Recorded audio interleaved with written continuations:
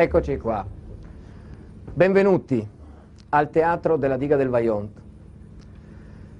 Non so perché vi siete sintonizzati stasera per ascoltare questa storia. Su alcuni giornali questo di stasera è indicato come un documentario, in altri giornali come un film drammatico. E invece siete in un teatro. Questa gente è qui per ascoltare teatro. Per una sera rubiamo la scena all'attualità e facciamo una diretta sulla memoria. Ecco perché è così difficile scriverlo, definire che cosa facciamo stasera. Forse non esiste una diretta sulla memoria. Che cos'è? Beh, insomma, è una specie di nodo al fazzoletto che noi ci siamo già fatti. Proviamo a raccontarlo insieme, proviamo a farlo capire. Chiedo un po' di aiuto ogni tanto. Quanto pesa un metro cubo d'acqua?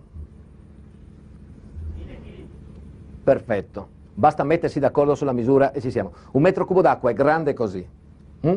E le frane le misurano a metri cubi, perché è l'unica misura che resta fissa, perché il peso cambia a seconda che dentro c'è fango, terra. Eh? Allora, il 9 ottobre del 63, dal monte Toc, qui sul fianco sinistro della valle del Vajont, si stacca una frana di 260 milioni di metri cubi di roccia, piomba nel lago dietro la diga del Vajont e solleva un'onda di solo 50 milioni di metri cubi d'acqua, che solo per metà passa dall'altra parte della diga, ma è più che sufficiente a spazzare via dalla faccia della terra cinque paesi, Longarone, Pirago, Rivalta, Codissago, Faè, 2000 i morti. La storia della diga del Vajont, iniziata sette anni prima, conclude in quattro minuti di apocalisse, con l'olocausto di 2000 vittime. Io il 10 ottobre andavo in seconda elementare. Mi sveglio la mattina a sette e mezza e mia mamma piange. Non avrà mica già litigato con mio papà alle sette e mezza di mattina. Non era mica a casa mio papà. Ricordo il giornale radio, Longarone non c'è più. Longarone. Non avevamo mica parenti noi a Long... Aspetta. Ma certo, me la ricordavo. Sì, perché per me all'epoca Longarone era una stazione sulla ferrovia delle vacanze, certo. Perché noi andavamo in vacanza sempre nello stesso posto. Io le stazioni le avevo imparate. Andare in su, venire in giù, sempre quelle. A scendere. Ste stazioni si chiamavano Calalzo di Cadore. Tutum, tutum, tutum, tutum, tutum. Poi c'era Sotto Castello, che c'è un'altra diga, ma il treno non ferma neanche. Tutum, tutum, tutum. Poi c'era Perarolo, tutum, tutum, tutum. Ospitale, tutum, tutum, tutum. Castellavazzo, tutum, tutum, tutum, tutum. Longarone.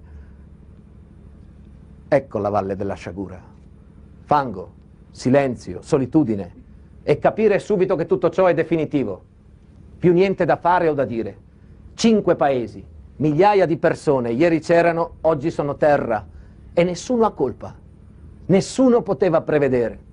In tempi atomici si potrebbe dire che questa è una sciagura pulita e gli uomini non ci hanno messo le mani. Tutto fatto dalla natura che non è buona, non è cattiva, ma indifferente. E ci vogliono queste sciagure per capirlo. Non uno di noi, Moscerini, vivo, se davvero la natura si decidesse a muoverci guerra. Belle parole potenti.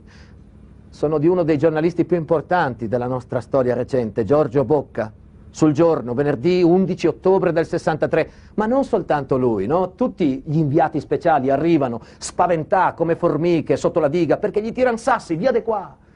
E in mezzo a questi signori ce n'è uno di Belluno e la diga è qua, sul confine tra Veneto e Friuli. E allora questo signore la storia la sente più degli altri e scrive sul suo giornale ispirato un sasso è caduto in un bicchiere, l'acqua è uscita sulla tovaglia, tutto qua, solo che il sasso era grande come una montagna, il bicchiere alto centinaia di metri. E giù sulla tovaglia stavano migliaia di creature umane che non potevano difendersi.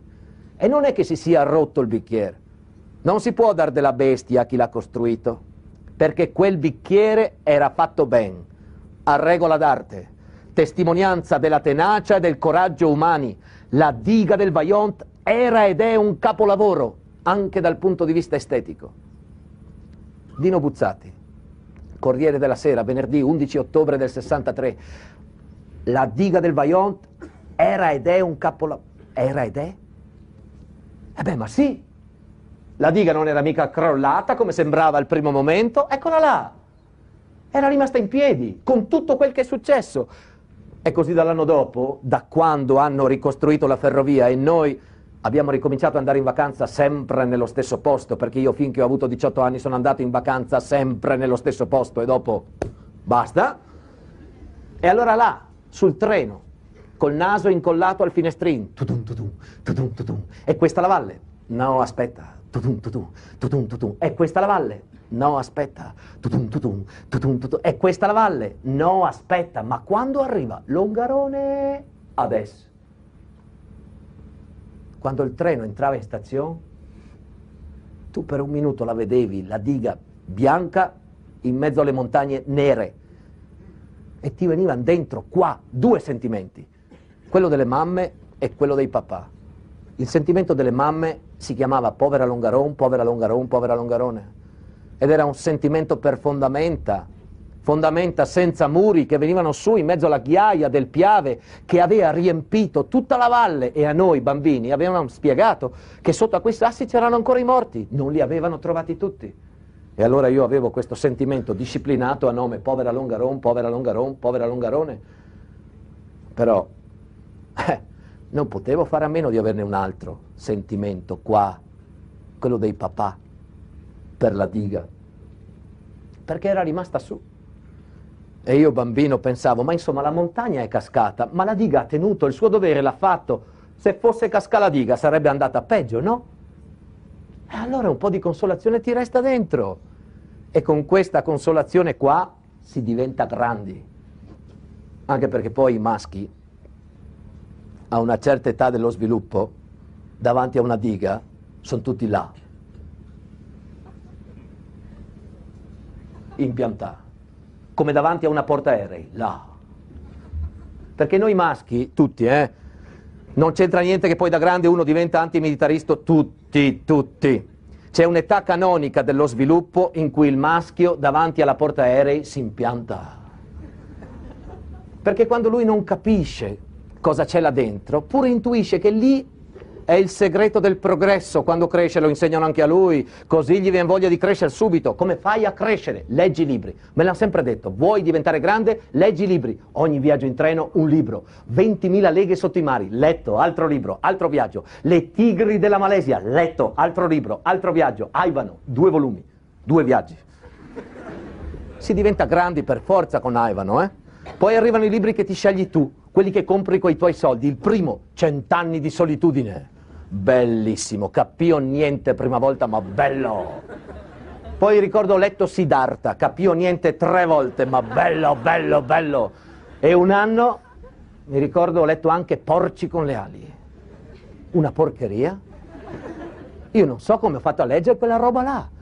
È che per diventare grande devi leggere tutto, non puoi saperlo prima se è una porcheria.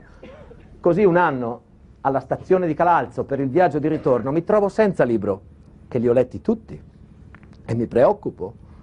E poi ne prendo uno all'edicola della stazione. Questo. Sulla pelle viva. Come si costruisce una catastrofe il caso Vaillant. Ah, Vaillant. Mi interessava. Dai, compra il libro, parte il treno, leggi il libro. Tutun tutun, tutun tutun, tutun tutun, tutun tutun, tutun tutun, tutun tutun, tutun tutun, tutun tutun. Come si costruisce una catastrofe? Ma la diga non era costruita bene, a regola d'arte. Come si costruisce a regola d'arte, ma che? Una diga o una catastrofe? Ma chi è questa? Tina Merlin? E chi è Tina Merlin? Eh? È Giorgio Bocca? È Dino Buzzati? Chi è Tina Merlin? Leggi il risvolto di copertina che te lo dice. Giusto. Tina Merlin è nata a Trichiana, Belluno, nel 1926. Ha svolto attività giornalistica dal 1951, lavorando per 30 anni all'Unità. Ah. Capio tutto. E dai, per piacere, che l'Unità negli anni 60 non era un quotidiano. Era un bollettino di partito e in Valle del Piave vendeva sette copie.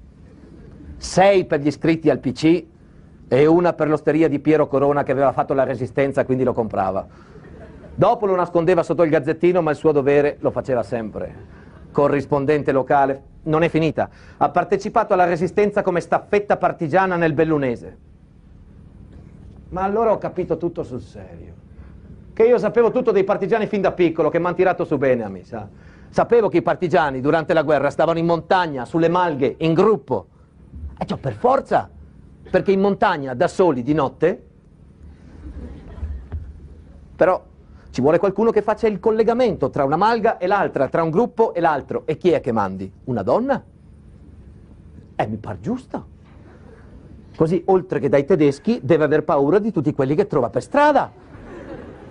Perché dopo tutto è pur sempre una donna, anche se nascosta sotto documenti messi da tutte le parti. E cosa fa sta disgraziata? Pedala! Ale, via con la bicicletta e la paura che ti ferma qualcuno per farti comunque del male. Dove finisce la strada? Su, a piedi, in mezzo agli alberi del bosco, una bersagliera, ecco che cos'è, una staffetta partigiana. Oh, ma uno che fa quella vita a vent'anni, vuoi che in cambio non le sia mai capitata un'occasione di quelle che... Beh, chi va in montagna mi capisce al volo, senti. Una di quelle volte che ti sei alzato la mattina presto, stai sudando ormai da ore come un becco sotto lo zaino verso il rifugio che è là. Sono tre ore che è là.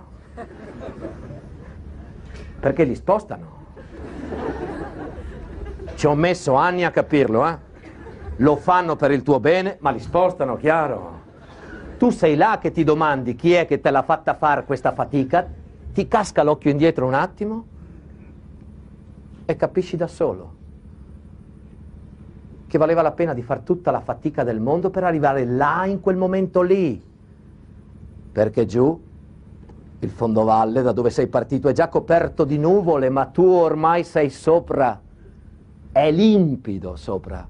A 360 gradi hai le montagne, le crode lì intorno a una a una che ti, ti par di poterci volare sopra come un rapace ed eccolo là il libro della Merlin. Ecco che cos'è. Non è un'altra storia, è la stessa storia, ma è un altro punto di vista. Non il punto di vista delle formiche, di quelli che arriva dopo la tragedia, inviati spaventati. No, no, no. È il punto di vista del falco, di chi le cose le ha viste da prima, dall'alto, da sopra. E infatti Tina non racconta la storia della Povera Longarone, povera Longarone che è stata rasa al suolo, cancellata. E giustamente è diventata il protagonista di questa storia. No, lei sceglie di raccontare la storia dei comprimari, altri due paesi che non sono stati distrutti, soltanto lesionati, e quindi ce li siamo dimenticati, anche perché non si vedono. Eh no, perché stavano sopra la diga, dalla parte friulana del Vaillant, sulla sponda del lago, paesi lesionati, che poi avevano un nome così brutto che non si poteva certo mettere sui libri di scuola. Due paesi che non si può nominare in pubblico senza commettere turpiloquio. Erto e Casso, a scelta nell'ordine. A Erto e Casso dal 56 al 63 si è combattuta guerra. Da una parte i due paesi, dall'altra la società che costruiva la diga. Beh, guarda, dopo, dopo è facile dire quando è cominciata la guerra? Il difficile è dire quando è cominciata la vigilia della guerra e come? Beh, si può dire che Erto e Casso sia cominciata nel 1929, col disgelo, con la riapertura della strada carrozzabile militare sia cominciata su un sidecar lento, un quattro tempi, due passeggeri, zaini, bagagli, piccozze, strumenti di rilevazione, un bel teodolite, poi delle paline bianche e rosse da misurazione piantate sul culo del sidecar a fare la ruota come sul culo di un tacchino, e soprattutto una macchina fotografica. Guarda! Guarda, guarda, guarda, costume tipico di Erto. Che costume? Fermo, fermo là. Paf, contadine di Erto. Paf, Malgari di Casso. Paf, la pastora. Ma cos'è l'intervallo? Ma che simpatici sti due fotografi. Dopo una settimana che sono in paese e sembra di averli sempre conosciuti e studiati. due lauree, quattro occhiali in due, eh, due da vista, due da moto, ovvio. Tra una foto e l'altra lavorano. Uno è ingegner, Carlo Semenza, elegante, block notes, trench, regolo calcolatore dai numeri, regolare. Quell'altro geologo il dise, va in giro, fa passeggiate, raccoglie impressioni geologiche dalle montagne. Giorgio Dal Piazza, barba da frate indovino, grasso, ma, grasso, ma. Non si capiva mai quanto fosse grasso del suo o per tutti i sassi che si riempiva le scarselle. Dopo un po' di tempo che sono lì in paese, un giorno come gli altri, ma prima di partire scattano le prime due foto cartolina dei paesi. Paf, panorama di Erto, paf, panorama di Casso. Eh, guardate le cartoline. In quella di Erto si vedono i camini delle case piegati all'indietro per arrivare a sputare fin sui marciapiedi di Casso a 4 km distante. In quella di Casso, che ovviamente va vista in piedi, c'è il campanile del paese piegato all'indietro per arrivare a pisciare fin sulle tegole di Erto. Stessa distanza, un ben dell'anima si vogliono, ma come spesso succede ai paesi confinanti, solo che questi due non sono due paesi, ma due parti dello stesso paese che un catasto lungimirante ha riunito in un comune a nome Ertocasso. Quindi chiaro che sono separati in casa, ma non ci si sposa neanche tra gli uni e gli altri, cosa metti sulle partecipazioni? Parolacce? Due lingue distinte. Erto in fondo alla valle parla un friulano ladino antico, duro, ostico. Casso, che è qua sopra, si dice sia arrivata dopo, essendo più vicina al Piave, parla più un dialetto bellunese cadorino e traffica con l'Ongarone, mentre Erto di là, con il Friuli, con la Valcellina, divisi in tutto, le uniche parole in comune, le bestemmie, a obice. Per finire sta fotografia veloce, nel 56, che poi parte la storia, Erto faceva 850 abitanti e 9 osterie. Fatta la media? No. Casso faceva 450 abitanti, 3 osterie. È più bassa la media, quindi Erto fa il capoluogo. No. Ma è ovvio, le osterie sono un parametro fondamentale della qualità della vita, per piacere. Le osterie spesso cosa sono? Una parte della casa con la stufa, il bottiglione, uso libero e indiscriminato dello stesso. Nelle osterie si gioca, si discute, e si bestemmia con una regolarità impressionante, tanto che i due parroci hanno rinunciato a estirparle. Dice che esula dalla missione pastorale. Ma è vero, a quel punto la bestemmia c'entra più niente con la religione, c'entra con la sintassi. Essa sostituisce tutti gli articoli e le congiunzioni tra una parola e l'altra. Cavi la bestemmia, non scorre più il discorso.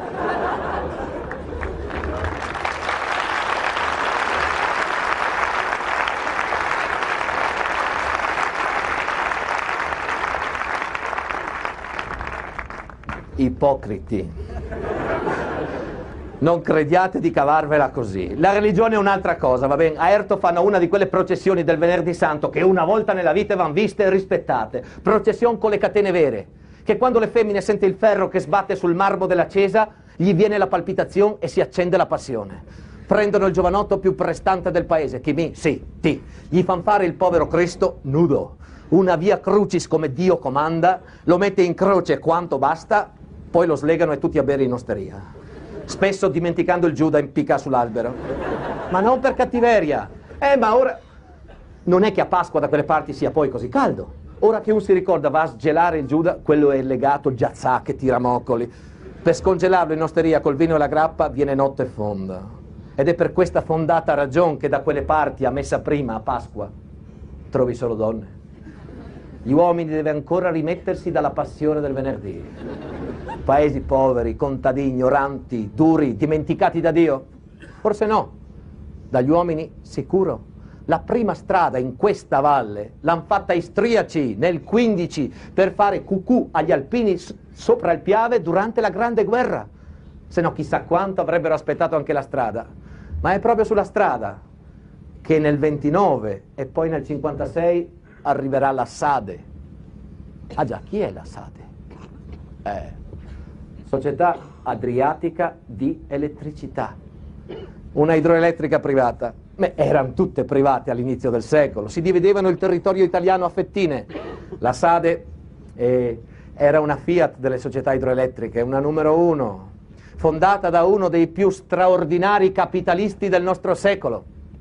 Lo so benissimo che la parola è passata di moda, eh, ma questo signor qua girava col monocolo e il cilindro, come Paperon de Paperoni, pare quello delle caricature. Chi è l'uomo?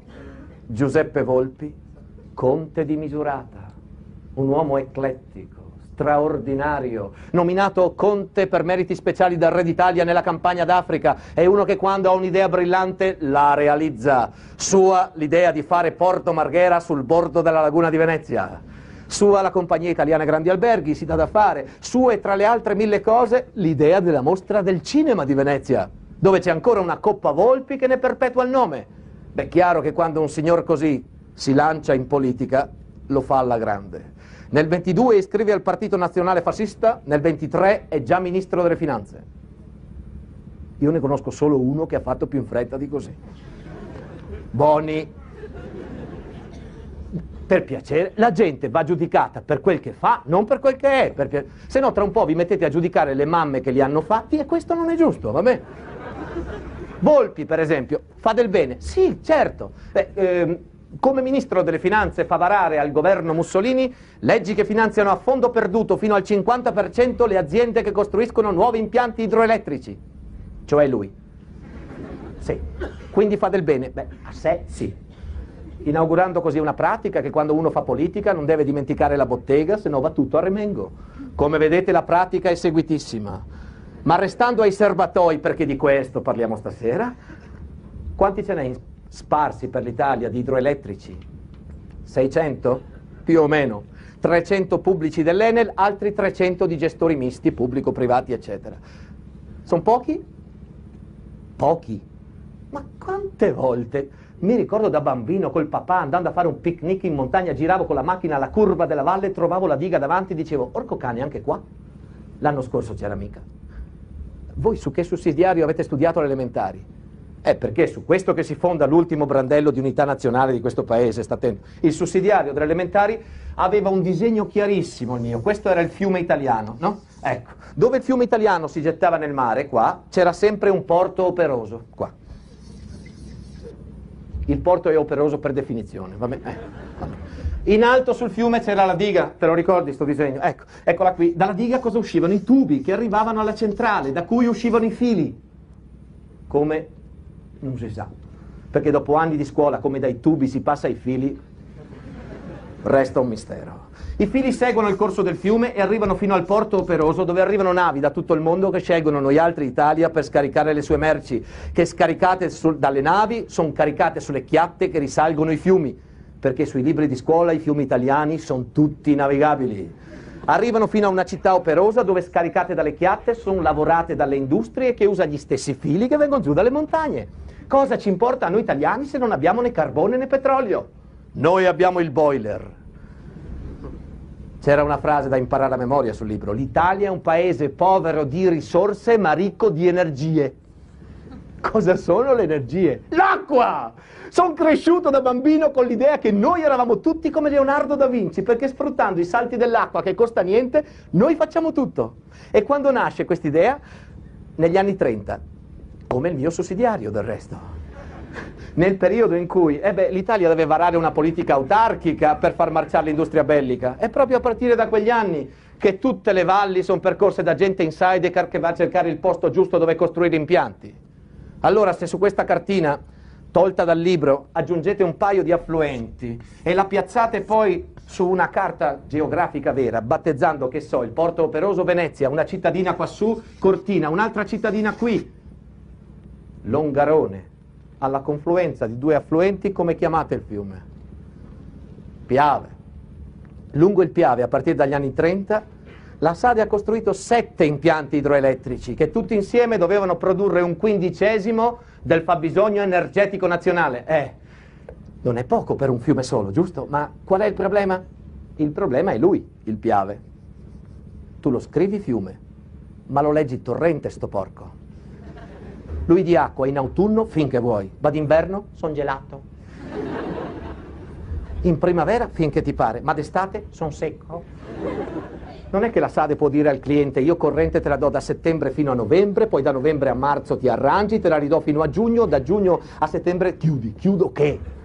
Dice il cliente, ho bisogno di corrente tutto l'anno. Beh, mi spiace, la corrente non si può mettere via. Dove la metti? La corrente no, ma l'acqua sì. Fate una banca dell'acqua. Come una banca dell'acqua? Beh, Sade, quando fate girare le turbine per produrre corrente non si consuma mica l'acqua. Dove la mettete? Beh, la ributtiamo nel Piave. Bravo Mona.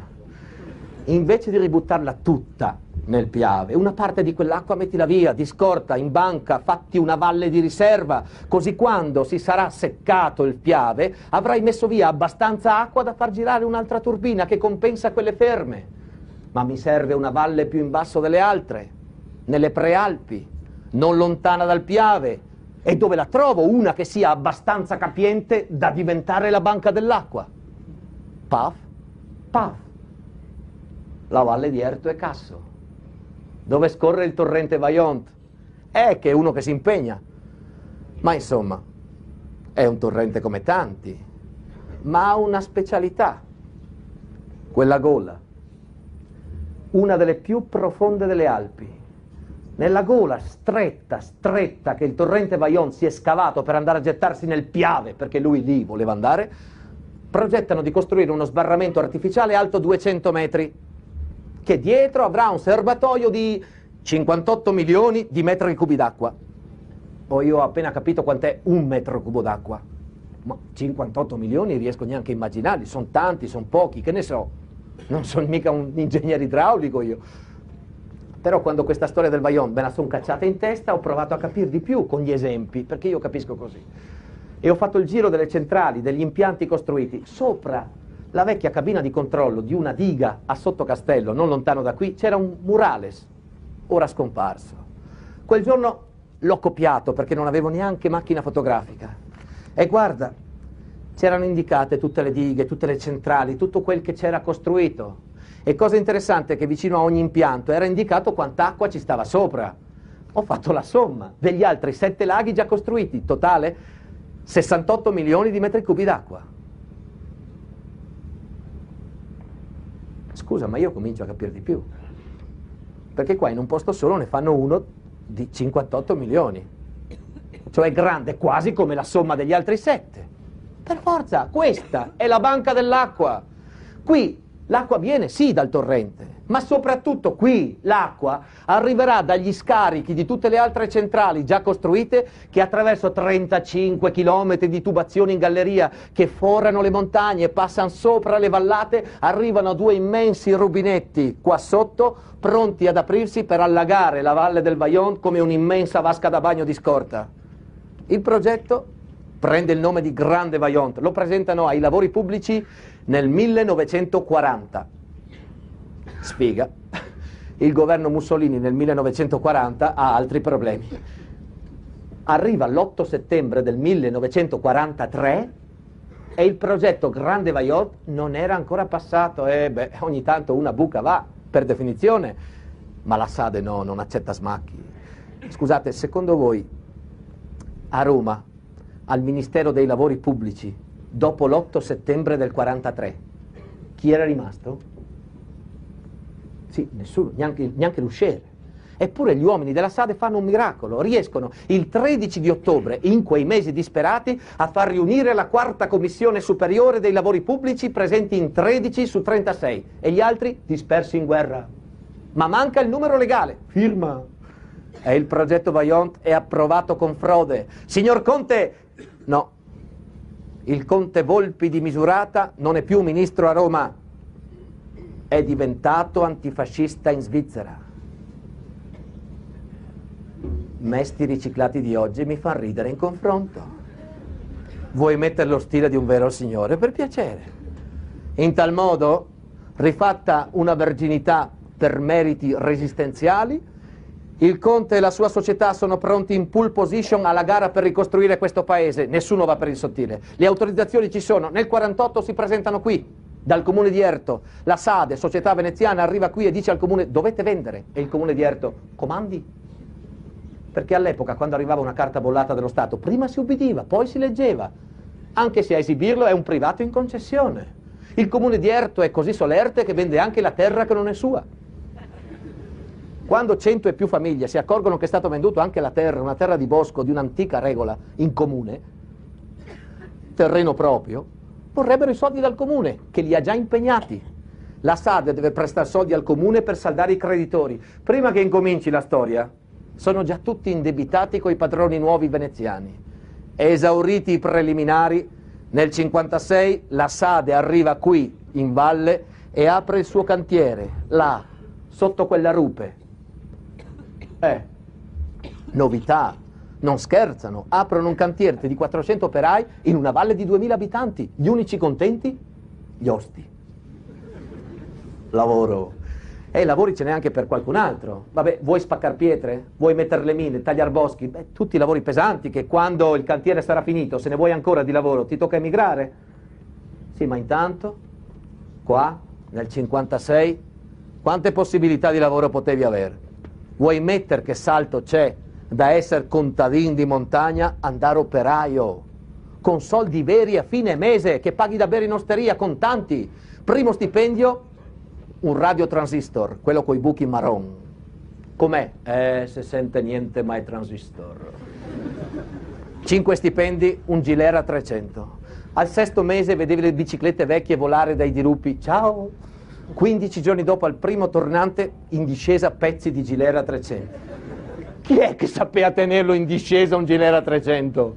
Il prezzo del benessere, cambiamenti, novità. Insieme al cantier, la Sade ha fatto costruire una caserma dei carabinieri. Ce n'era una a Cimolais a 5 km, cosa serve un aerto? Serve. Tutte le mattine la campagnola dei carabinieri va in giro a portargli spropri. Dovete vendere. Parcia. Perché? Perché dobbiamo costruire un serbatoio artificiale. Andelo far da un'altra parte. Contad'ignorante. Dobbiamo costruire un'opera di interesse pubblico, anche ammesso pubblico. Ma come fai a spiegare a sti contadini montanari ignoranti che di tutte le valli delle Dolomiti eh, sono queste le caratteristiche giuste per diventare la banca dell'acqua? E perché si oppongono adesso? Eh, la Sade paga poco. Dice, sono terreni di montagna, scoscesi, non valgono niente. Sì, ma gli offrono un terzo del valore e quelli non vendono. E fanno il comitato. Avete idea cosa può significare nel 56 a Erto l'arrivo della democrazia diretta sotto forma di comitato? Porco qua, porco là, porco su, porco su! Getir una sciopetata, nonna! Sta calma? Non è tedeschi questi? Nonna, è finita la guerra! Non, spa- non, si può sparare a tutti i forestieri solo perché ha la targa di un'altra provincia. Dai, per piacere. Qua per parlare con la Sade ci vuole uno studiato, giusto? Ci vuole uno studiato. Chi è studiato in paese? Il dottor. Il dottor è studiato per definizione.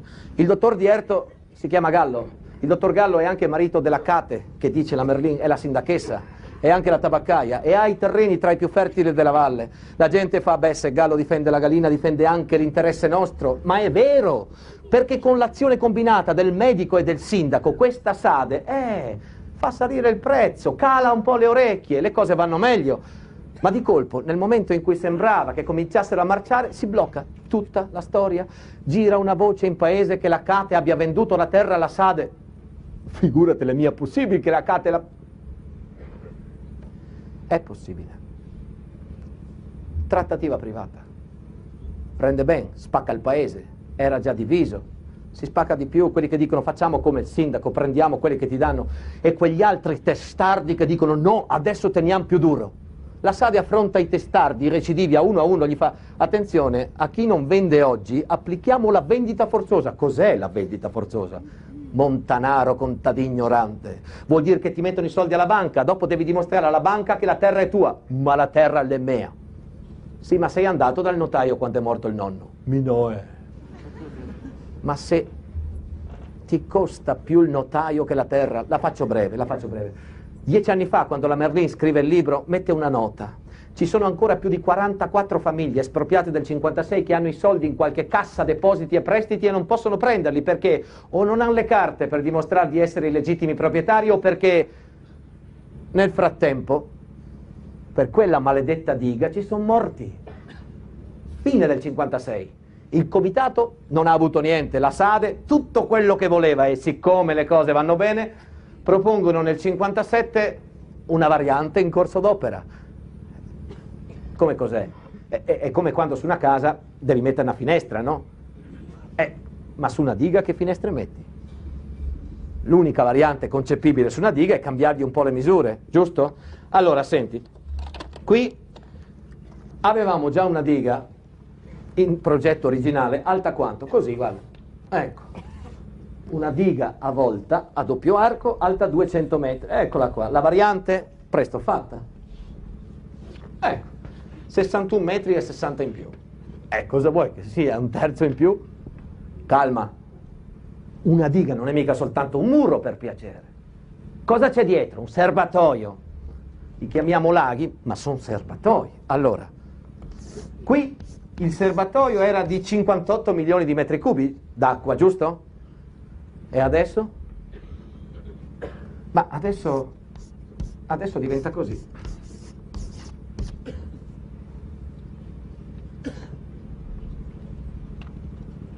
...150 milioni di metri cubi d'acqua. Due volte e mezza la somma di tutti gli altri serbatoi delle Dolomiti messi insieme. Ah! C'è un altro lago nell'arco alpino italiano un po' più grande di questo del Vaillant, in Trentino. Eh, ma quel lago ha una diga alta 100 metri in meno di quella del Vaillant. Insomma, una diga così alta in Italia non esisteva, ma che diavolo? Una diga a doppio arco a volta di questa altezza non esisteva al mondo. Quando viene costruita quella del Vaillant è la più alta del mondo. Nessuno aveva mai osato immaginare un impianto così.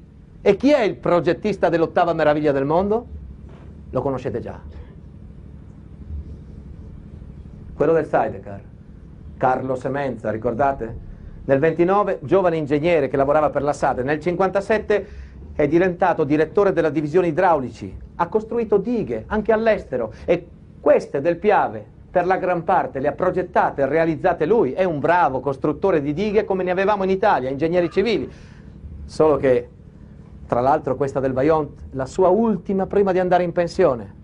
Per costruire una diga non basta un ingegnere per quanto bravo, serve il geologo. Chi è il geologo del Vaillant? L'altro del Sidecar, Giorgio Dal Piazza anche lui nel 29 funzionario del magistrato delle acque di Venezia, ma nel 57, beh, dal piazza, da un po' è il titolare della cattedra di geologia dell'Università di Padova. È un barone, un professore stimato, sui suoi libri studiano generazioni di geologi in Italia. Nel 57 poi è addirittura in pensione. E sai, la pensione è quel che è, lui, insomma, patisce, prebende, dice che deve fare qualche integrazione, qualche consulenza a chi, per esempio? Beh, al vecchio amico, l'ingegner Semenza, che gli manda la proposta di variante della diga. Il geologo la legge e risponde, ma già il vecchio progetto mi pareva audace. Questo nuovo mi fa tremare le vene ai polsi. E io come faccio a dirlo? Ma sono 40 minuti che mi state ascoltando vi verranno dei dubbi ogni tanto su quel che sto dicendo. Come faccio a dire queste cose? Non sono un tecnico, non sono un avvocato, non sono laureato, sono un attore. Sì, ma il testo. Se non vi sono venuti dubbi, male. Va bene? Meglio dubitare. Comunque, prima che galoppino per conto loro, meglio che ci mettiamo d'accordo. Allora, io per raccontarvi questa storia, stasera, per tenervi svegli, attenti, inevitabilmente, signori, ogni tanto invento la nonna con lo schioppo l'ho inventata. Anche il sidecar. Ma quando faccio parlare gli imputati, no, perché su Vaillon c'è stato un processo otto atti, quint- atti processuali pubblicati che io non mi sono letto anche perché sono sigillati, ma mi sono potuto leggere quello che un po' di storici, giornalisti, gente documentata, capace nel suo lavoro come Tina Merlin e altri ha fatto.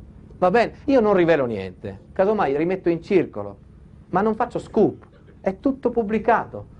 Quando parlano gli imputati non sono parole di dialoghi inventati, ma sono atti del processo. Sul resto un po' di teatro ce lo posso anche mettere per tenervi svegli, su questo no.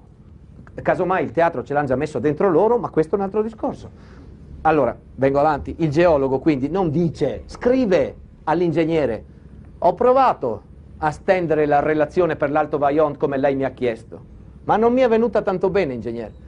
Perché non mi manda una copia di quella che mi ha letto al telefono che mi pareva così ben concepita? E l'ingegnere manda la relazione geologica al geologo che la firma. Tanto quel che conta è la firma del geologo per convincere il ministero. Però siccome la Sade un po' di senso dell'umorismo ce l'ha, il timbro sulla variante della diga porta la data 1 aprile 57 pesce. Però al ministero ci cascano. 15 giugno rispondono potete cominciare a allargare le fondamenta della diga. Abbiamo già fatto, grazie. Erano sicuri del risultato dello scherzo. Il ministero gli chiede qualche perizia geologica in più perché dice, mi avete rimandato una copia di quella degli anni 30, se fate la diga più alta fate qualche sondaggio in più, sì sì, faremo, faremo, faremo, ma intanto nuovo giro di espropri, immaginate la quantità di terra in più che viene a essere allagata, 400 espropri in due anni in una valle di 2000 abitanti, vuol dire una famiglia sì e una sì, gli espropri non piacciono a nessuno, che discorsi, è facile parlare di questo. Sai, certe case dovranno essere allagate, vengono svuotate, ferme lì ad aspettare l'acqua, altre case più sfortunate che vengono a trovarsi lungo il perimetro della nuova circonvallazione del lago, quelle dovranno essere subito abbattute. Oh, la circonvallazione del lago è una bella novità, una strada carrozzabile che hanno inserito nella variante della diga. A dire il vero non hanno ancora avuto l'autorizzazione a costruirla, ma si portano avanti, l'autorizzazione arriverà e non fanno mica abusi. No, no, sono in regola con la legge del tempo che permette anche a loro di utilizzare temporaneamente tutti i terreni necessari all'esercizio dell'attività del cantiere. La circonvallazione serve al cantiere? Sì. E dunque loro temporaneamente sega i boschi, spiana le case, asfalta la strada, ma temporaneamente. C'era un ingegnere al genio civile di Belluno che si chiamava Desidera, a cui sto temporaneamente torna amica e gli fa chiudere quel cantiere. Ma in meno di 24 ore per espresso interessamento di un ministro dei lavori pubblici che aveva il nome come un circo, Togni, l'ingegner Desidera veniva sollevato dal suo incarico, trasferito ad altra sede e il suo successore di nome Violin, i nomi non sono simboli arbitrari, dal momento in cui sarà insediato si guarderà bene dal recare qualsiasi disturbo o stecca al lavoro della Sade che fino a dopo il Vaillon, dal genio civile di Belluno, non avrà mai più bastoni tra le ruote, mentre qua fiocca in un'unica bestemmia con l'eco Dio, l'esproprio e la sade. Possibile che qua fan la diga più alta del mondo, nessuno viene a controllare. Montanaro contadino ignorante, qualcuno che controlla c'è. Un po' più in basso. Sto parlando sempre di lui, del ministro dei lavori pubblici, Togni, che nel 1958 nomina l'allegra commissione di collaudo. Vabbè, l'aggettivo l'ho messo io, d'accordo. Ma lui ha fatto le nomine, sta attento. Sono due ingegneri e un geologo. Degli ingegneri non parlo, per carità cristiana. Dico solo che hanno fatto parte della commissione che ha approvato la variante della diga del 57, quindi sono parte in causa, ma lasciamo perdere. Il geologo della commissione si chiama Penta, per ricordarlo un po' di più come una fotografica giapponese? Ed è bravo, al punto che la Sade lo ha già assunto in passato per altre consulenze, per costruire una diga qui a Pontesei, a pochi chilometri. Quindi lui già conosce benissimo la società che adesso è stato incaricato di controllare, perché sul passato è già stato sul suo libro paga. La commissione, io ci ho messo l'aggettivo, ma il ministro il timbro sulla nomina. Ovviamente Primo aprile 58. Ma non sto scherzando, par che le abbia messe un greco antico le date su sta storia dall'inizio. La commissione viene nominata ma non parte subito per il Vaillant. Prima devono mettersi d'accordo, andiamo con la macchina tua. No, con la macchina mia no, ci vuole tempo. Un anno almeno, dai. E intanto la diga cresce 60 centimetri al giorno che non la vede e non la ferma nessuno. E io del 58 non ho mica altro da dire. Passo al 59, anzi, salto tre mesi, passo da Pasqua del 59, anzi alla Domenica delle Palme, mm? così vi tengo un po' meno. Eh, ecco qua, io non so se devo parlare con voi o quelli a casa, sono preoccupato di quelli a, allora, quelli a casa, glielo, voi lo sapete di sicuro, ma il problema è come siamo messi oggi in Italia con la religione cattolica. Magari voi lo sapete, ma quelli a casa c'è qualcuno che queste cose se le dimenticate, così io gliele ricordo. Oh, se le sapete già, scusatemi. Se non le sapevate, boh. Allora, volevo solo dirvi che la Domenica delle Palme viene prima di Pasqua. Ecco, basta. Questo per dire che è l'unica e l'ultima occasione a Erto di fare le prove della processione del venerdì santo di cui vi ho parlato all'inizio, ricordate? Eh, solo che lo stesso giorno, lo stesso periodo, ci sono altre prove un po' più tecniche, in un'altra valle qui, trasversa, non lontano da qui. Guarda caso, c'è un'altra valle che sbuca l'Ongarone che porta una diga. L'Ongarone è alla confluenza di due torrenti. Uno si chiama Vajont, uno si chiama Maè e viene giù dalla Val Zoldana a 10 km da Longarone, in località Pontesei, c'è un'altra diga, costruita dall'ingegner Semenza con la consulenza del geologo Penta. Da un po' di tempo, nel 1959, questa diga piccola, nana, 6 milioni di metri cubi, beh, insomma nana, è una diga, ma rispetto a quella del Vaillant è nana. Dicevo, in questa diga, che però è funzionante, sta succedendo qualcosa. La diga non funziona più bene, Cos'ha? Batte in testa. Un serbatoio idroelettrico deve cantare come un motorino più o meno, questo fa i rumori. Eh, quando lo metti in moto fa i rumori, ma sotto la montagna, sotto le rocce. Brutto segno, per piacere. Poi macchie d'acqua giallastra e localizzate sempre nella stessa sponda, negli stessi posti. È brutto segno. Inclinazione degli alberi, fessurazioni sul terreno, brutto segno. Sì, ma spostati per piacere è evidente che una delle due sponde del serbatoio sta cedendo. Allora, quando il movimento diventa irrefrenabile, viene preso un provvedimento.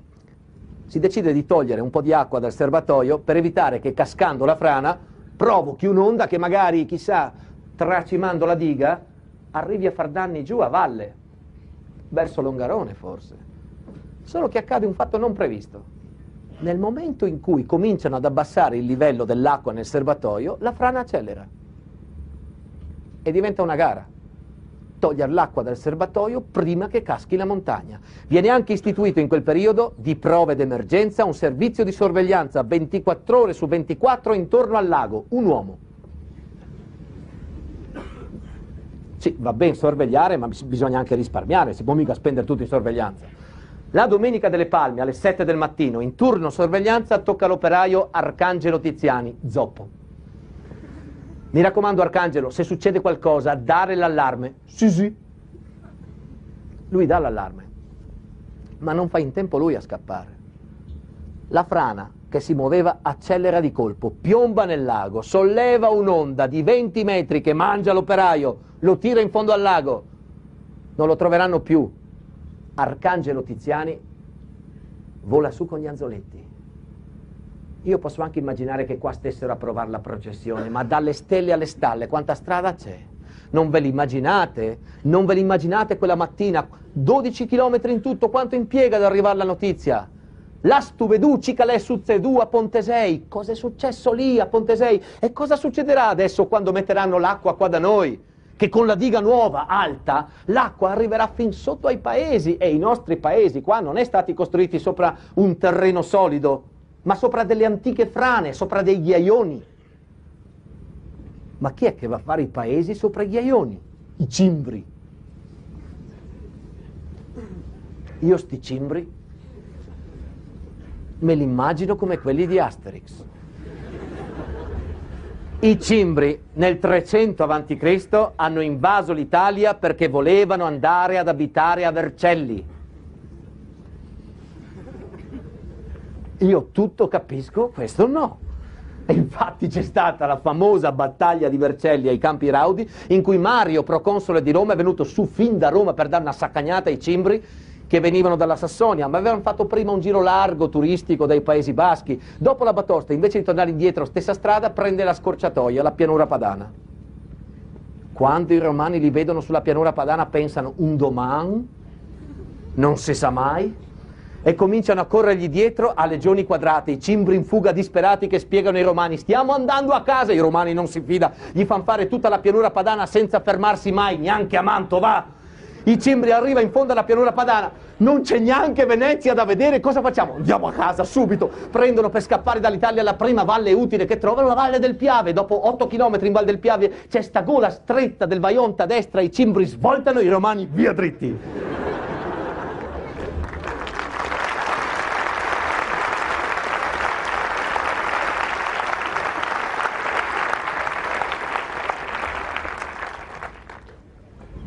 E i cimbri fa.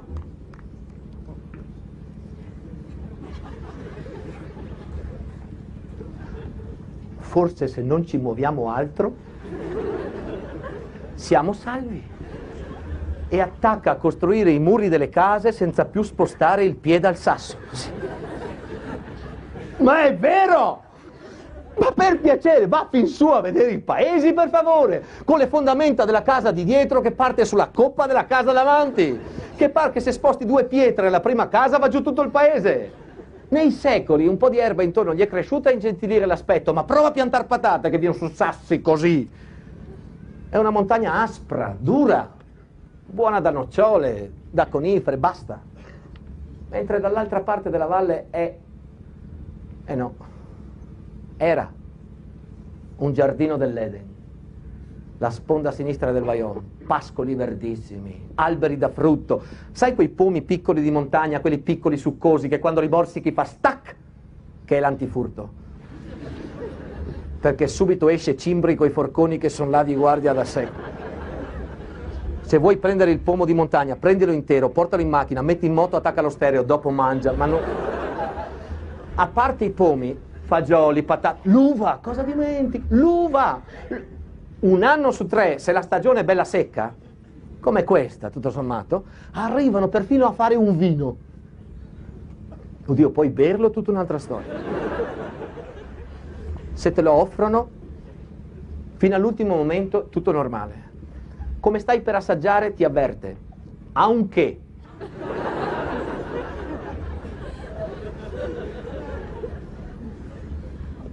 poi ti rassicura, ma le vinde uva,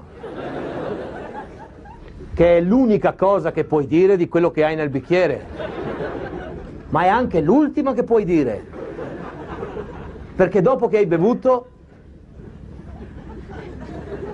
legno, gingive di legno, lingua di legno, esofago di legno, intestino di legno, radici che escono da non dico dove un segno nero sul bicchiere e io penso nello stomaco è uguale. Si ridete e io ne approfitto di un momento di risate così perché sono sicuro che a qualcuno di voi vedendomi fare queste cose è venuto in mente un altro nome. E allora lo salutiamo tutti insieme. Questo è un teatro, siamo in scena a raccontare la storia del Vaillant e oggi è il 9 ottobre e abbiamo saputo che ha un attore italiano è stato dato il premio Nobel al maestro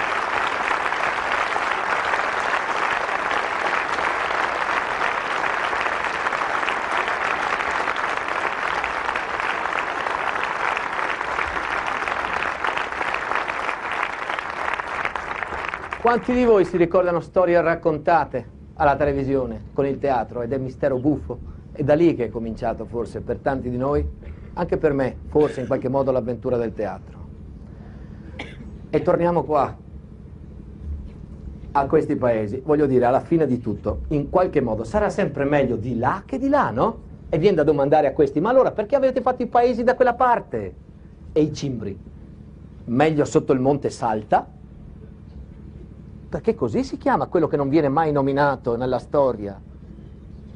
Salta che sotto il monte Toc che in tutto il Veneto, toc, vuol dire pezzo. Dammi un toc. Ma in Friuli, patoc, vuol dire marcio. Dunque stanno costruendo una diga tra il monte Salta e il monte Pezzo Marcio sopra un torrente che si chiama Vaiont, che in ladino significa va giù.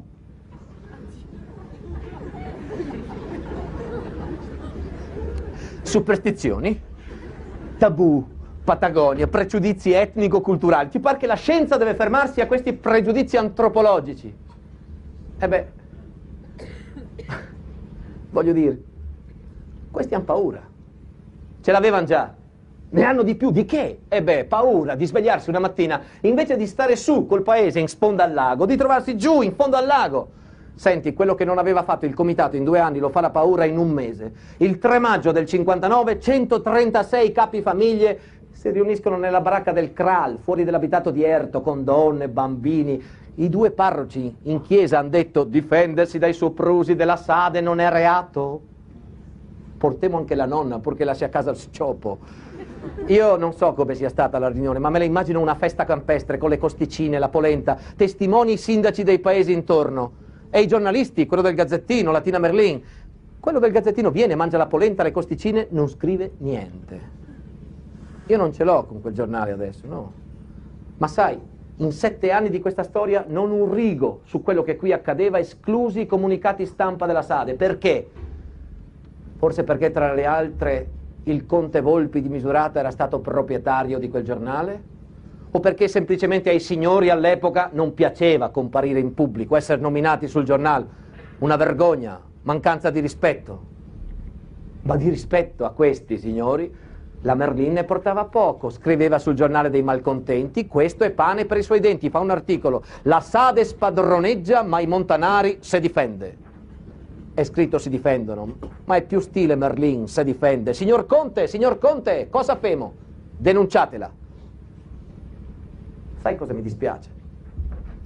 Il signor Conte che denuncia Latina Merlì non è più il Conte di Misurata Volpi, no, che è già morto a questo punto della storia, il povero Volpi da alcuni anni, è un altro Conte, il Conte di Monselice, perché la SAD era una società così che se la passavano di conte in conte forse.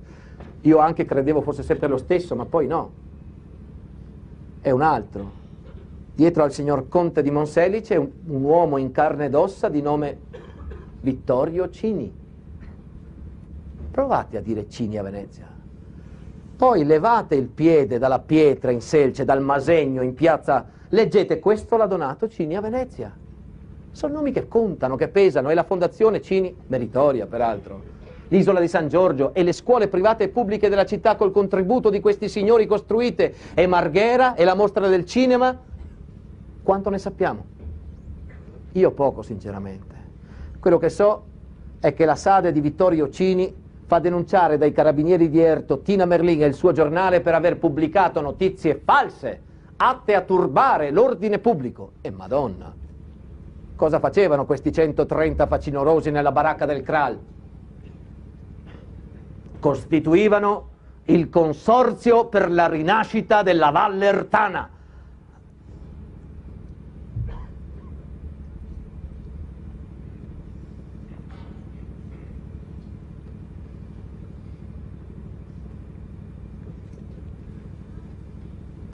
Questa è la reazione dell'opinione pubblica alla notizia. Frega niente a nessuno. Ma per forza, appena uno fa un comitato, agli altri non frega mai niente. Poi questa gente qui col comitato gli era già andato male tutto, adesso fanno un consorzio, cioè giurano davanti al notaio di difendere la terra e la valle. Ma se la terra l'avete già persa, difendiamo la valle. Da chi? Dalla Sade. Eh, ma va là. Sì, è vero. Aspetta, è vero questo, che la Sade, quando gli ha portato via la terra, oltre a quattro soldi in cambio, aveva promesso anche eh, beh, un po' di benessere. Ecco, ecco, ecco. Cosa? Beh, un po' di lavoro, un ponte. È fondamentale un ponte per il benessere in questa valle, scusa. Perché se i paesi restano di là, sulla sponda destra del torrente, e il giardino dell'Eden, il pascolo, le stalle, stanno di là, sulla sponda sinistra, e in mezzo ci metti un lago, diventa fondamentale un ponte per andare da qui a lì in fretta, no? E infatti un ponte era stato previsto quando? Beh, beh quando Sì, quando la diga era alta 200 metri, davanti a Erto era stata prevista una passerella pedonale. Ma adesso che la diga viene alta 61 metri in più e l'acqua di conseguenza, eh, eh, la passerella non è più prevista. Anzi, è per questo che stanno facendo la famosa circonvallazione del lago che viene lunga 12 km. Per mandare i bambini a scuola la mattina fa due ore, più quattro a scuola, due a tornare fa otto, come se fossero assunti in fabbrica. Sade, perché non fate una passerella pedonale? Perché non si può. Perché non si può. Perché il terreno non lo consente.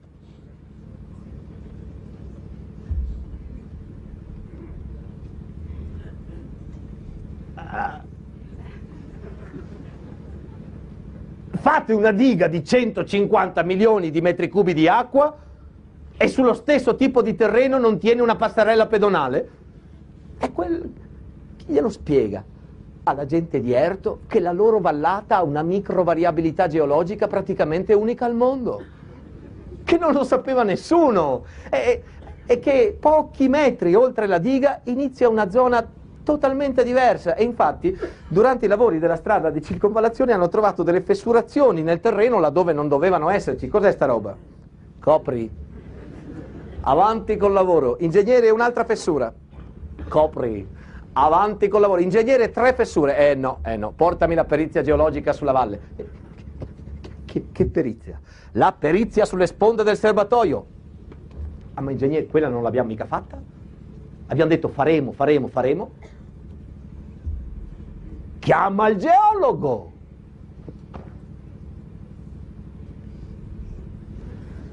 No, grasso. No, no, no, non è grasso, è vecchio. A questo punto della storia, dal piazza tra gli 80 e i 90 anni. Ti pare che deve rimettersi lui a fare rilievi come un giovanotto di primo pelo, come un capretto su e giù, su e giù, su e giù per le montagne, a sondare. E poi, oh, oh, oh, calma, eh, non erano mica sondaggi obbligatori e la legge non lo prevedeva. Diciamo che dipende un po' da, dalla volontà, ma, ma era appena successo l'incidente a Pontesei. E dunque? E dunque, senti, c'è un'altra cosa. Col dopoguerra la tecnica geologica è cambiata completamente. Prima della guerra la geologia era epidermica. Il bravo geologo distingueva a colpo d'occhio le rocce una dall'altra. Col dopoguerra non si fidano più, vanno dentro. Hanno inventato l'ingegneria applicata alla geologia, la geomeccanica, la geofisica, fanno i carottaggi, i fori piezometrici, le analisi stratimetriche, tutta un'altra cosa. In Austria c'è questa scuola inventata e diretta dal professor Müller, un luminare. E Semenza, che è uno che si tiene al corrente, lo invita, lo propone alla sua società veneziana che non lo ama, no austriaco, no austriaco, no, tra veneziani e austriaci. Mai andati troppo d'accordo, ma è bravo, maestriaco, ma è bravo, maestriaco. Alla fine li convince. Leopold Müller, bravissimo, scuola di Salisburgo, l'ha fondata lui insomma, viene assunto consulente geotecnico della SADE, arriva qui in valle e indica una serie di indagini precise che vanno fatte sotto il Monte Toc una dopo l'altra, complesse. In realtà lui non le fa di persona, ma a me piace invece immaginare che l'austriaco arrivi qui e si metta al lavoro che esegua personalmente tutto ciò che va fatto, me lo immagino così, segna sulla carta tutti i punti dove vanno fatti per esempio i carotaggi, no? le carote stratimetriche del terreno, lui segna in carta, poi arriva lì con la trivella e inizia a perforare preciso al millimetro, striaco, perforazione, analisi, perforazione, analisi, perforazione, analisi, si fa tutto il Monte Toc, passa dall'altra parte, sotto il Monte Salta, perforazione, analisi, perforazione, analisi, solo che di qua ci sono i paesi, lui se ne frega dove deve piantare, pianta, in centro a Erto trova un orto, comincia a piantare, piantare la trivella, apre il proprietario, lo becca, cosa fa? Carotaggi! Col trapano. Maria, vieni a vedere istruiaci pianta carote col trapano. E nel...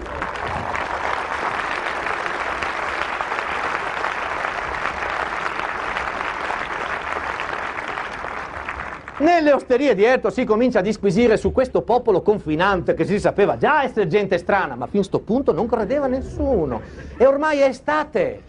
59 estate, arriva al Vajont l'allegra commissione di collaudo perché si sono messi d'accordo, andiamo con la macchina mia, dividiamo le spese, mi, ti e quell'altro.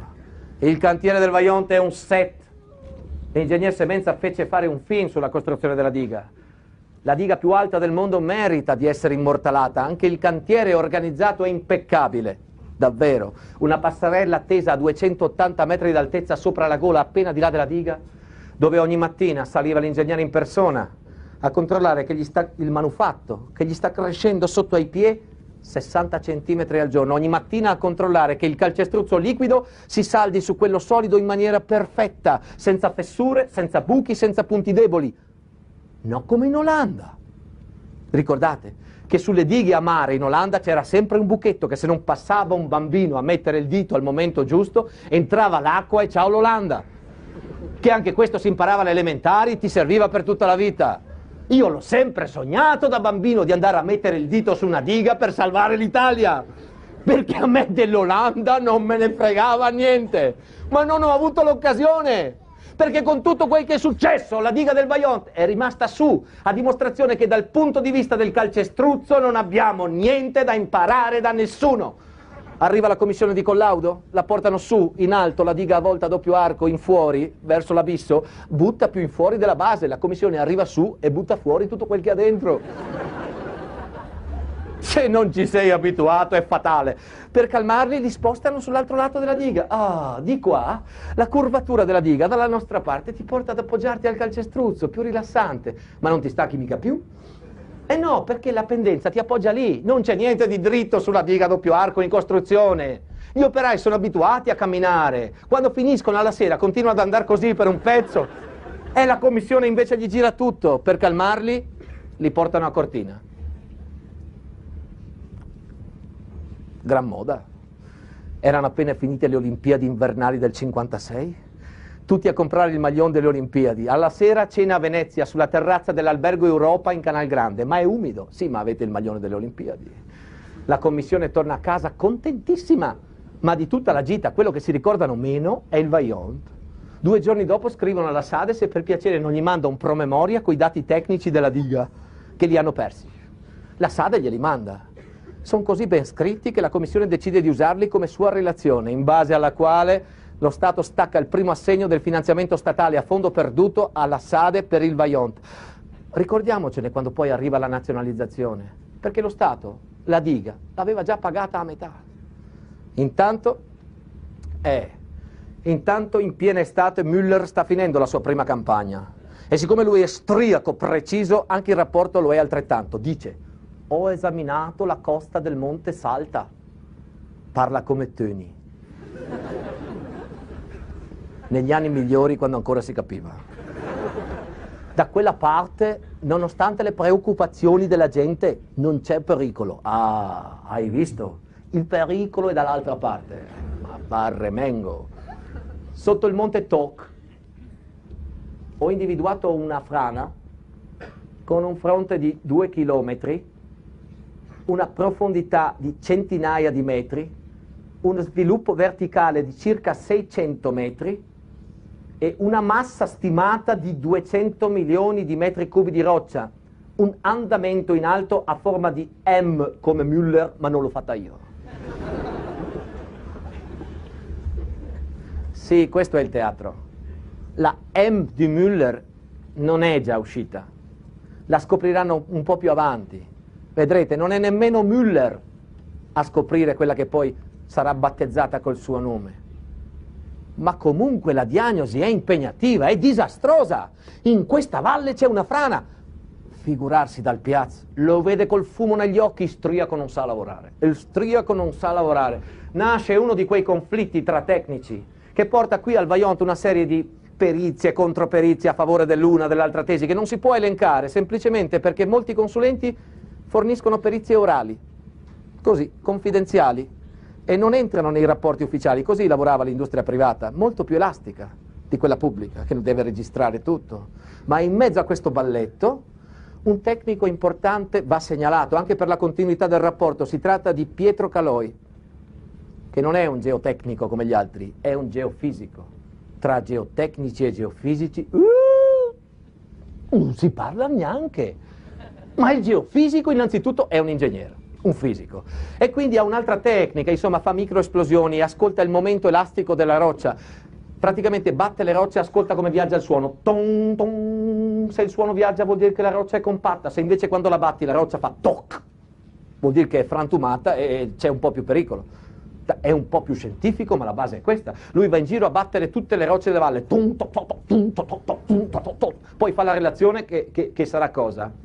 Una partitura. Io non riesco a immaginarla diversa, ma tradotta in prosa, quella del geofisico è tutta un'altra musica rispetto a quella del geotecnico. Dice Caloi, la costa del monte Toc appoggia su un potente substrato roccioso autoctono è autoctono che ti allarga il cuore, dai. Come doveva essere immigrata. La frana, se c'è, riguarda soltanto uno strato di sfasciume superficiale di 20-30 metri di spessore, perché sotto è roccia compatta. Bravo dal piazza. Hai scelto bene, hai visto? Istriaco non sa lavorare. Sì, ma scusate, a voi. La salute. Due medici, uno che vi dice operare subito, un altro che vi dice no, non operare. Tu cosa fai? Dimmelo. Vai da un terzo. No come una l'altra sera che mi fa mi opero. Aspetta un attimo prima di tagliare. È giusto, vai da un terzo, sacro santo, vai da un terzo. Certo, bisogna eh, mi serve la controperizia, la prova del nome, e in realtà qui, insomma, di prove a riscontro ce ne sono tante. Allora, chi è che fa la controperizia? È già in corso. Le indagini in, in, promosse da Müller non le fa tutte lui.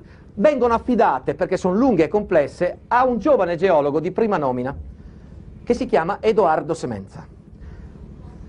È il figlio del costruttore della diga.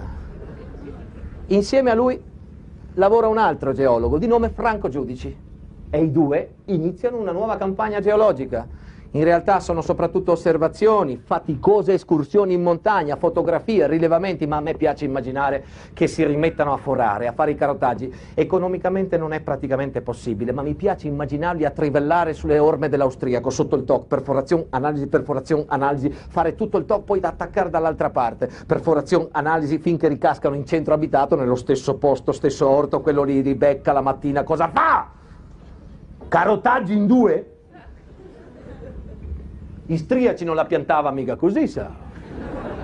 E nelle osterie di Erto si comincia a disquisire sulla differenza tra scuola italiana e austriaca di carotaggio, con una competenza geologica inaudita. E ormai siamo in autunno. E ritorna al Vajont, seconda volta, l'allegra commissione di collaudo, perché si sono trovati così bene la prima volta che sono già qua. E anche perché la diga è finita in nemmeno due anni di lavoro la diga è fatta. Sì, manca la ringhiera in quel momento, ma è su 360.000 metri cubi di calcestruzzo in piedi in due anni con solo 10 caduti sul lavoro, di cui alcuni credo letteralmente caduti. Io vorrei sapere perché questi 10 non li trovo mai nell'elenco vittime Vajont. Ma forse è solo perché facevano parte di un altro preventivo, no?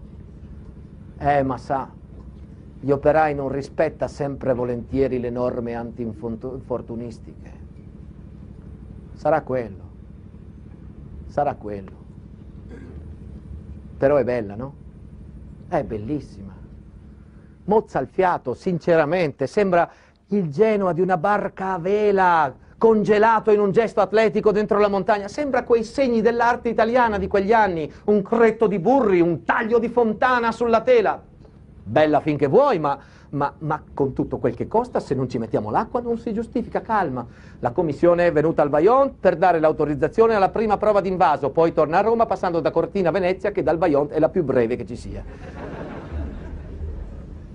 Siamo in autunno avanzato e anche il giovane Semenza è pronto con la sua relazione. La relazione scritta arriverà qualche mese dopo, ma i risultati dell'indagine sono già chiari e se prima ci avete scherzato e vi ho lasciato scherzare, adesso giù il cappello. Perché il giovane Semenza lavora bene e con notevole coraggio. Lui e il suo collega non vengono certo agevolati dalla SADE che non dà a un tecnico le informazioni che l'altro ha diagnosticato e arrivano, ciò nonostante, agli stessi risultati e conseguenze di Müller.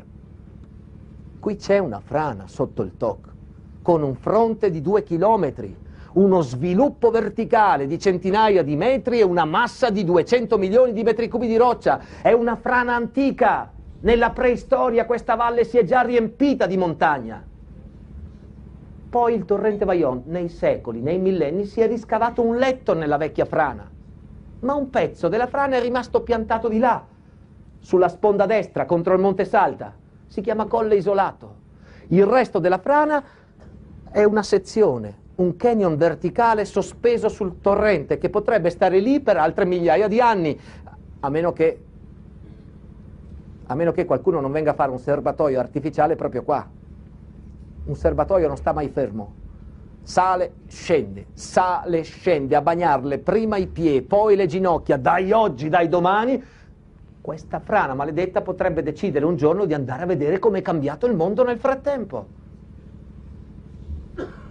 Se è vero hanno sbagliato posto.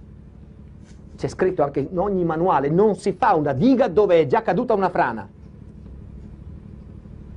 Edoardo, ritengo indispensabile che tu faccia visionare la tua relazione dal tuo professore, dal piazza e se a seguito di quel colloquio dovrai rivedere alcune delle tue affermazioni più estremistiche, non cascherà il mondo.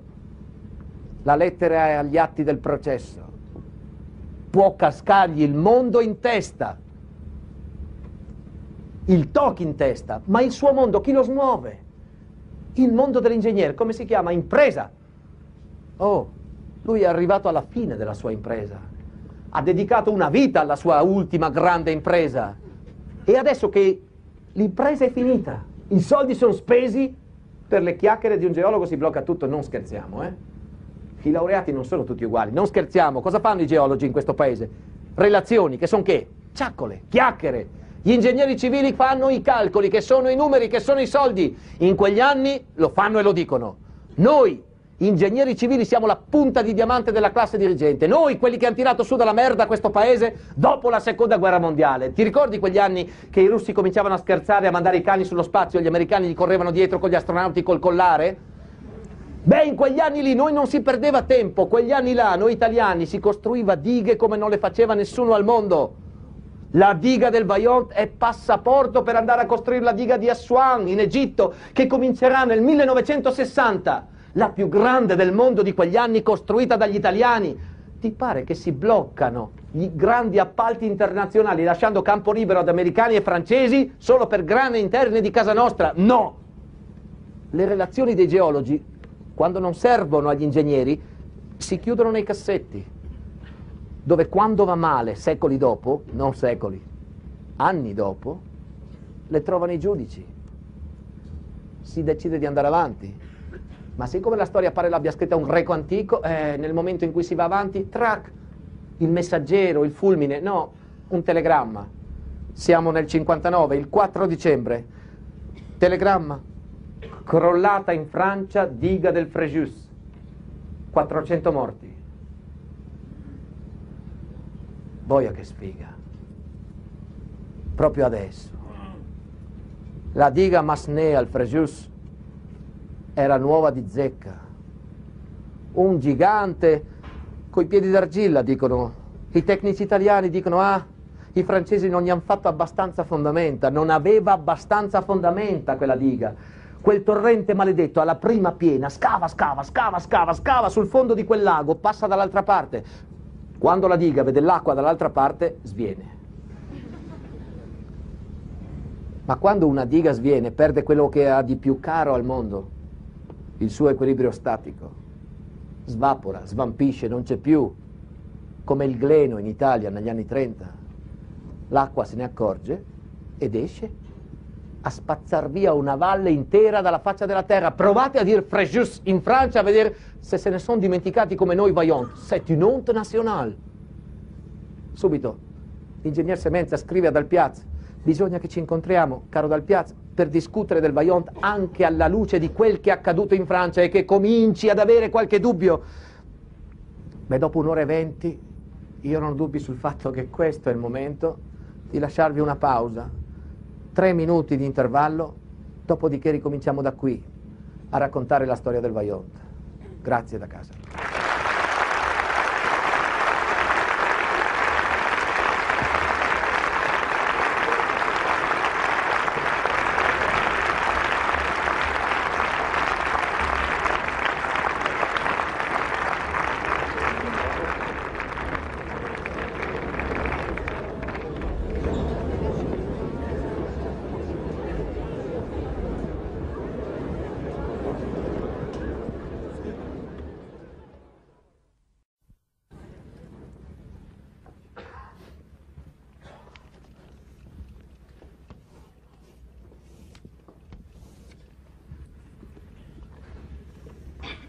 Ecco, così si vede meglio.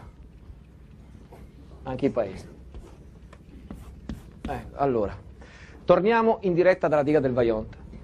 Prima di cominciare la seconda parte, eh, velocemente devo provare a spiegarvi due cose. La prima riguarda il disegno sulla lavagna, che come spero riusciate a leggere rappresenta uno spaccato della valle uno spaccato che prende longitudinalmente la valle. Questa è la diga, da questa parte c'è il monte Salta, dove stanno i paesi, dall'altra parte il monte Toc, mm? quello di cui ci occupiamo stasera. Questi segni sono l'acqua, quando il serbatoio sarà riempito. Un altro segno, il torrente Vaillant che esce dalla diga, il fiume Piave, dall'altra parte del Piave un altro paese. Tutto questo serve soltanto a dare i numeri possibilmente esatti. Fino adesso di numero ve ne ho dato uno soltanto, cioè 261 metri che è l'altezza della diga. Adesso mi servono le quote sul livello del mare per poterle ricordare fino alla fine del racconto. Le do partendo dal basso. Il piede della diga parte a metri 460 sul livello del mare e arriva a 721,60. Lassù Casso, in cima a uno spuntone, è a 930 metri d'altezza sul livello del mare e in fondo alla valle Erto è a 780 metri sul livello del mare, molto più vicino quindi alla diga e al bordo del lago, molto più in basso di Casso. C'è un altro numero, quello di Longarone. Longarone fuori dalla gola, dall'altra parte del Piave, si trova, si trova praticamente alla stessa quota del piede della diga, 460 metri sul livello del mare. Vedrete che i numeri ci servono. L'ultima cosa è questa. Ecco, ho preparato una sveglia mi tolgo l'orologio, la vedete che ora fa? La leggete bene? 10 meno un quarto esatte. Allora, per favore, i vostri orologi non guardateli più, anche a casa. Cambiamo fuso orario, tiriamo indietro di quasi un'ora e ripartiamo da qui. Non vi tengo qua un'ora in più. Vabbè, alla fine del racconto vi ribeccate la vostra ora, ma cambiamo fuso orario in maniera da, poter arrivare a una certa ora che ci interessa in modo particolare questa sera, d'accordo? Io l'ora la chiedo a voi, non guardo l'orologio. Ogni tanto ve lo chiedo, mi rispondete, grazie. Comunque non ci siamo ancora alle ultime ore, siamo indietro. Mm? Siamo ancora al 1960, abbiamo tre anni da raccontare. Tre anni che cominciano appunto col 1960. Che cosa accade? eh, aprono i rubinetti, iniziano a mettere l'acqua nella diga ancora in costruzione da finire, ma inizia la prima prova di invaso. E cos'è una prova di invaso? Eh, insomma, è, è come un'alluvione, esagerato. È un'alluvione controllata, sì, la sola differenza con l'alluvione spontanea è che è permanente. E se quelle che vanno sotto sono le case dove sei nato, beh, una qualche differenza la fa. E argomenti romantici, lascia stare, d'accordo. Ma cosa fai? Guardi le case che vanno sotto così? No, porti via il salvabile, travi, coppi, serramenti, tutto quello che si può portare via dalle case si salva o no? E quando l'acqua circonda le case non puoi più andarci a piedi, coi fusti dell'olio, le tavole sopra, qualcuno dei ragazzi fa delle zattere, va a navigare sul lago a portare via roba dalle case. Ma tutto sto casin, questo via vai sul suo lago, la Sade non lo sopporta e fa un'ordinanza tipicamente veneziana, un divieto di navigazione che è la cosa più estranea alla mentalità di chi è nato in una valle senza acqua. E quelli vanno a navigare lo stesso e vengono multati, mentre l'acqua sale, dovrebbe fermarsi, eh, dovrebbe fermarsi a metà della diga. All'inizio, per la prima prova d'invaso, dovrebbe fermarsi a quota 600 sul livello del mare. E lì dovrebbero fare la prova d'invaso. Cos'è? Eh, è un collaudo, come una prova di carico. Come la fai la prova di carico su un ponte? Semplice. Riempi il ponte di camion, poi tiri via i camion, se il ponte c'è ancora è collaudato. Così si fa, no? Stessa cosa con la prova d'invaso, metti acqua fino a un certo punto, dopo per controllare devi cavare anche l'acqua, toglierla, vedere che sia tutto in ordine, ma non è mica una vasca da bagno, una valle così. Eh, ce ne vuol di acqua a cavare e mettere. E allora? E allora ci vuole tanto tempo e il collaudo è una formalità, l'impianto è praticamente fatto. Allora questi tempi burocratici, se si accorciano, meglio, perché si entra in produzione prima. Allora ottengono un'autorizzazione a far salire l'acqua fino a quota 660 sul livello del mare durante la prima prova d'invaso senza doverla togliere nel frattempo. e l'acqua durante la primavera tarda estate del 1960 sale verso questa nuova quota. 6,40, 6,50, 6,6... non arriverà a toccarla. Perché come arriva a bagnare quota 6,40, 6,50 comincia evidentemente a toccare, a bagnare i piedi e forse poi le ginocchia di quella frana. E comincia a succedere qui, al Vaillant, quello che un anno prima era successo a Pontesei, rumori sordi dentro la montagna. I bambini di Erto imparano a ruttare fortissimo. Mario!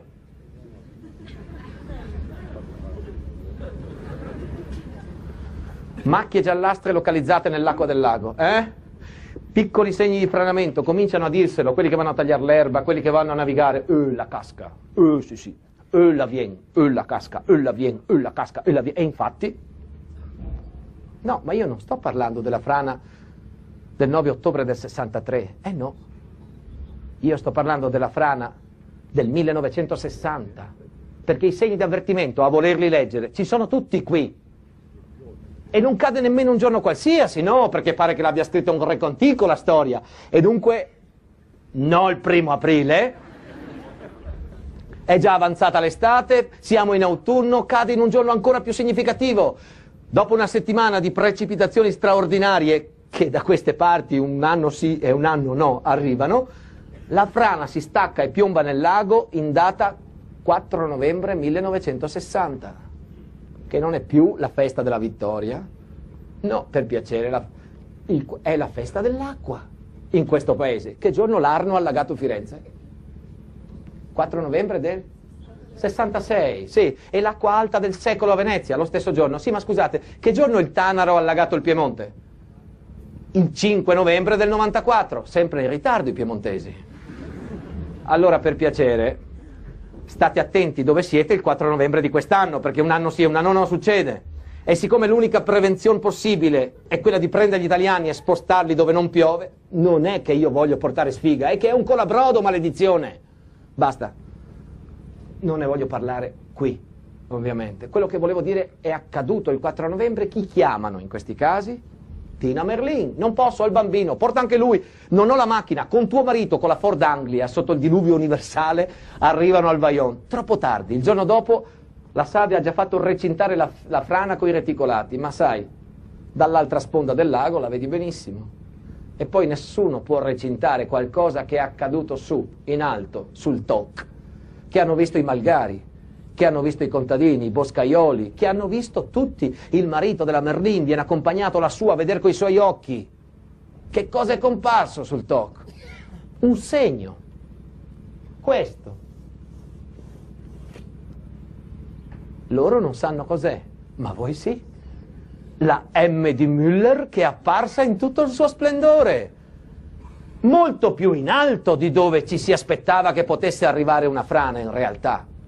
Capito cos'è accaduto? Che cos'è? È uno slittamento, una trincea della prima guerra mondiale di circa un metro che segue per un perimetro di quasi tre chilometri la montagna. È caduta, sì, una frana il 4 novembre, uno spuntone davanti è caduto nel lago, ma l'intera montagna su in alto ha fatto uno scivolone in avanti di un metro. Tempesta di cervelli. La Sade convoca al Vaillant una riunione. Scendendo dalla montagna, quelli che sono andati su a vedere vedono transitare sulla diga macchina nera, scendere un uomo, barba bianca, dal piazzo. E tutti gli altri esperti per fare appunto una tempesta di cervelli, brainstorm. Gli americani dicono così, tempesta di cervelli. Si prende quelli che sanno pensare, si chiude in uno stanzone e gli si fa piovere sopra. Sembra che questo fa germinare le idee. Cioè, se, dicono, se, lo dicono gli americani sarà anche vero. Io me li immagino dentro questa stanza tutti umidi, bagnati, neri, incazzati, tranne uno. Istriaco, che gode. Sono tutti convinti ormai che qui ha ragione Müller, c'è una frana compatta. E Caloi, quello che sosteneva l'esistenza di una frana superficiale, no, ha fatto nuove indagini e dice che con l'immissione dell'acqua nel serbatoio la roccia ha avuto un rapido processo di degenerazione. Quanto rapido? A me da bambino mi ha sempre detto sta saldo come una roccia? Ma o era già degenerata un po' o, o che? O siamo in presenza di forze mai viste? Siamo in presenza di movimenti in grado di sgretolare lo zoccolo duro su cui poggiava la frana del TOC. L'unico che sembra comprendere a fondo la situazione è Müller. Müller, la frana si può fermare? Ormai no. Ormai no? Ma ve la immaginate una riunione così? Qual è la prima cosa che fanno? Licenziano i geologi, perché è dimostrato che demoralizzano la truppa. No. Dopodiché si spremono gli ingegneri per trovare la soluzione, perché non è nemmeno concepibile con i soldi già spesi l'impresa realizzata di fare un passo indietro a questo punto. Ma non si, si tratta di rimuovere l'ostacolo sulla strada del successo. È vero, sono tutti convinti che cade una montagna e allora largo al concorso di idee. Quelli che si sfogano, giovani ingegneri rampanti, dicono si potrebbe far cascare la frana con la dinamite facendola tagliare a fettine sottili che cascano come un famoso prosciutto nella sua vaschetta che è la valle già conformata a questo scopo. Altri che dicono non potendo incamiciare il TOC con un impermeabile in calcestruzzo, per ovvie ragioni economiche, si potrebbe bensì far cadere alcuni spuntoni avanzati della frana, crepe, effetto che si ha nei ghiacciai o negli iceberg, quando crollano le fette davanti, che bloccando l'alveo in basso della frana diventino un puntello che sostenga il resto della frana su comunque sia, sono tutti convinti qui che bisogna far cadere la montagna, ma a questo punto è la società ad avere dei forti dubbi, anche il consiglio d'amministrazione, perché? Perché se cade una frana di queste dimensioni, eh ma mi viene a bloccare la valle qua e là. Mi resta un laghetto piccolo attaccato alla diga e quello oltre la frana cos'è? Un lago alpino in omaggio al comune di Erto? Qui la tecnica però ci viene in aiuto. Gli ingegneri propongono, sì, ma se qui costruiamo un sifone, come un sifone? Beh, per il principio dei vasi comunicanti, se collego due serbatoi con una canna sul fondo, avrò sempre lo stesso livello dalle due parti, giusto? Qui in realtà non serve un sifone. Mi basta scavare una galleria sul fondo del lago, contro la sponda destra del Vajont, sotto il monte Salta, che è roccia compatta, una galleria che mi unisca il dietro col davanti del fronte della frana. Dopo può cascarci sopra una montagna intera che io avrò comunque un unico lago in due parti collegate da un bypass. Costo un miliardo dell'epoca. Ma, ma è tantissimo all'epoca rispetto al costo del Vajont, ma è un 15-20%. Insomma, è un capitale, ma è l'unico modo di salvare l'impianto. Il consiglio d'amministrazione nella tempesta delibera l'approvazione della spesa, subito, e, e dei paesi sulle sponde non è all'ordine del giorno. La questione intanto è come salviamo l'impianto. In ogni caso, facendo la galleria, sistemiamo anche i paesi, perché l'acqua del lago non potrà salire fino a diventare pericolosa. Questo si decide, di governare in proprio la situazione, senza pubblicità, ma ma il 17 di novembre, stesso anno, stesso mese, arriva al Vaillon la terza volta l'allegra commissione di collaudo. Boia d'un cane, sono sempre qua questi. Hanno tutti ormai una coda di paglia come il tubo dell'acqua lunga al Vaillon. Tutti convinti che qui sta ormai cadendo giù una massa di frana compatta. Tutti pessimisti, tranne uno. Chi? Il geologo della commissione di Stato Penta, ricordate? Lui ha, è arrivato, sì, con le sue indagini a due conclusioni possibili. Dice, qui, allora, o siamo in presenza di una frana compatta, profonda, tipo quella indicata da Müller, o siamo in presenza di una frana più superficiale, tipo quella indicata da Caloi. Lui non sa scegliere tra le due ipotesi, ma propende per l'ipotesi minore, quella di Caloi, che non propende più per la sua ipotesi. Ma il geologo di Stato, forse stretto fra troppe pressioni, sì, perché dice che se fosse vera l'altra ipotesi, eh, bisognerebbe ammettere che qua è in movimento una massa di terra inconcepibile e per non poterla concepire lui propende per l'ipotesi minore. Il 30 di novembre, stesso anno, apre a Milano il processo contro Tina Merlin e il suo giornale rei d'aver pubblicato notizie false atte a turbare l'ordine pubblico. Apre il processo e chiude in sei ore assolta la giornalista il suo giornale. Ma per forza, perché nel frattempo è cascata la frana del 4 novembre. Ma quali notizie false se è già successo? Il giorno dopo l'unità, vittoria! E in Valle del Piave in sette, vittoria, vittoria, vittoria, vittoria. Diamogliela vinta, il primo gol che fanno, perdevano 18 a 0, fanno 18 a 1. È come quando giochi scapoli ammogliati, stai perdendo 18 a 0, non hai più voglia, poi fai un gol. E par che se ci impegniamo, vero? Magari vincere no, ma pareggiare sì è possibile. 17 gol in mezz'ora si può fare, ti cambia il mondo psicologicamente quando fai l'ultimo gol. Per un comitatino non essere più abbandonati, sentire che adesso l'autorità costituita, la provincia di Belluno, ha messo noi, piccolo Vaionta, all'ordine del giorno, finalmente ne parlano i grandi. Il presidente della provincia di Belluno si chiama D'Aborso, è democristiano, la Merlin, comunista, di quello lì, nel libro scrive un uomo buono, un galantuomo. E io penso a mio nonno viva Dio, si può anche stimare un avversario e continuare a mantenerlo avversario, o no? Ma questo signore buono, che ne sapeva del Bayon? Niente. Gli danno mandato di chiedere al suo superiore sull'argomento è il ministro dei lavori pubblici, che non è più quello del circo, no, era cambiato, era un altro, che è passato poi alla storia con la faccia e anche la reputazione di uomo buono, Benigno Zaccagnini. Che ne sa Zaccagnini del Vajon? chiede al genio civile che si lava le mani, lo mandano al servizio dighe. Ah, chi avete di competente sul Vaionte al servizio dighe? Il geologo Penta. L'unico ottimista fa la relazione al ministro dicendo sì, è vero, è cascata una frana il 4 novembre, ma a Erto esagerano, in quella valle. Dopo la caduta della frana al Vaillant, la Sadi ha preso provvedimenti. Lungo il perimetro della grande frana presunta hanno fatto montare una rete di 24 punti di rilevazione luminosa, che sarebbero che? Eh, sarebbero delle paline in ferro bianche e rosse con una lampadina sopra che se la frana cammina si vede anche di notte. Bello? Poi la Sadia, a spese sue, ha fatto montare alla diga due sismografi che sentono anche le scosse di terremoto in Cile. In Cile ringraziano. E sempre a spese sue.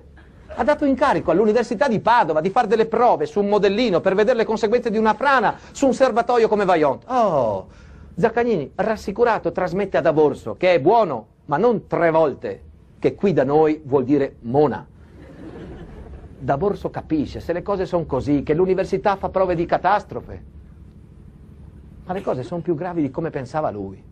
Va a Roma una settimana negli uffici a bussare, a chiedere notizie della Sarde del Vajont e non ottiene. Torna indietro, non ha niente da dire. Lo accusano di coprire il ministro e lui sbotta, che non ha potuto, perché contro la Sade è difficile, perché è come uno Stato nello Stato. Ah sì, le frasi fatte. Eh, lo so. L'hai già sentito? Eh, come dir muro di gomma. Ah, che retorica. E quando l'hai sentito? Eh certo, da Piazza Fontana in poi, la strategia della tensione, lo Stato nello Stato. E io cosa sto dicendo? Che ci siamo talmente vaccinati che non riusciamo a riconoscere le parole. Sto dicendo che queste parole le usava nel 1961, otto anni prima di Piazza Fontana, a verbale, un uomo del governo dello Stato, non per indicare strategie della tensione, ma poteri all'interno dello Stato, al di sopra dello Stato, potenzialmente assassini.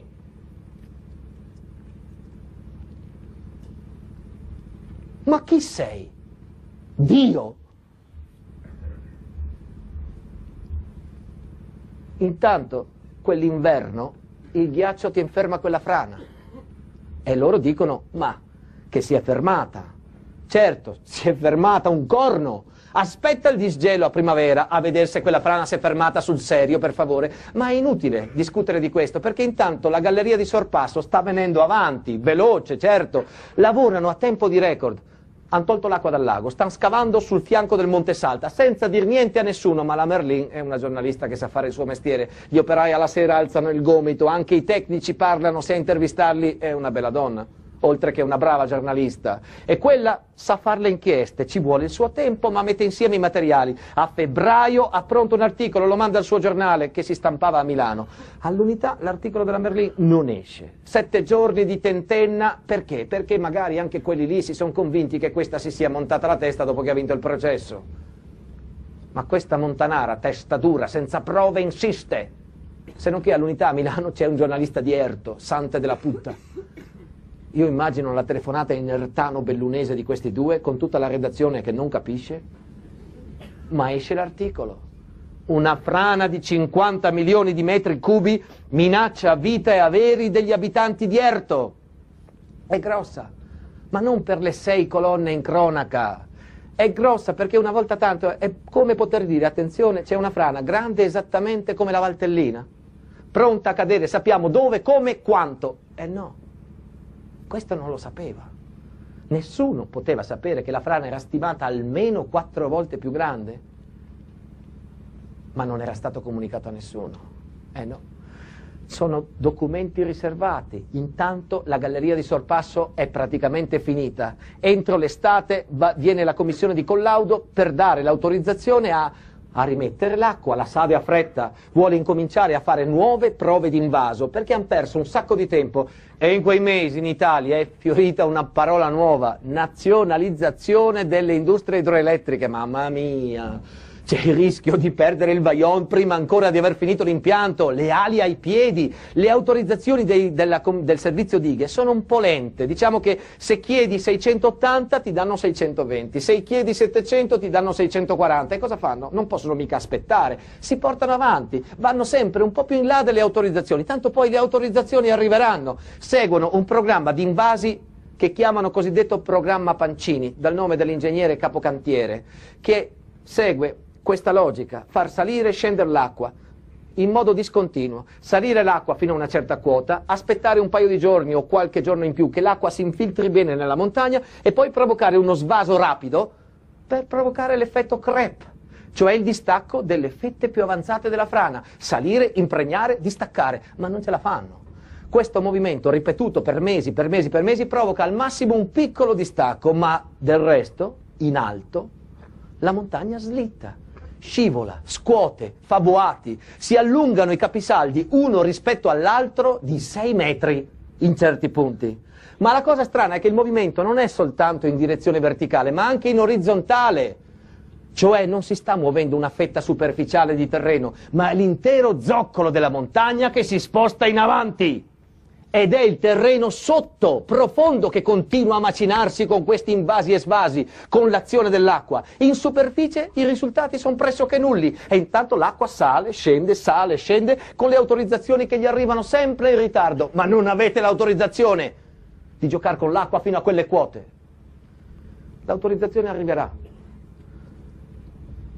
Hanno ragione loro. L'autorizzazione arriva sempre l'autorizzazione a mettere l'acqua fino a quota 680 che è già stata raggiunta da un bel po', arriva il 23 dicembre, regalo di Natale. Da due mesi però l'ingegner Semenza, il progettista della diga, è morto, chiedendo perdono a Dio alle montagne se talvolta col suo operato ha mancato a loro di rispetto. Ha il dubbio Semenza stavolta di aver fatto il passo più lungo della gamba. Cinque mesi dopo di lui muore dal piazza. E tutti e due i testimoni della storia fuori scena, prima del finale. Chi entra al comando del Vaillant? Due personaggi, l'ingegnere Alberico Biadene, detto Nino, che era il vice di Semenza, e il capocantiere Pancini. Uno di sé dirà io ero il supervisore, l'altro dirà io ero l'esecutore. Comunque Biadene è la carica più alta in governo qui al serbatoio del Vaillant. Biadene entra nella stanza dei bottoni a gennaio del 62 e gli capitano in mano i rapporti che la Sade manda al Ministero. Hanno raggiunto un compromesso, eh? Ah, sì, sì. Il Ministero rinuncia a mandare la commissione in gita al Vaillant. La Sade si controlla da sola. Il risultato non cambia e il Ministero risparmia qualcosa sulle spese.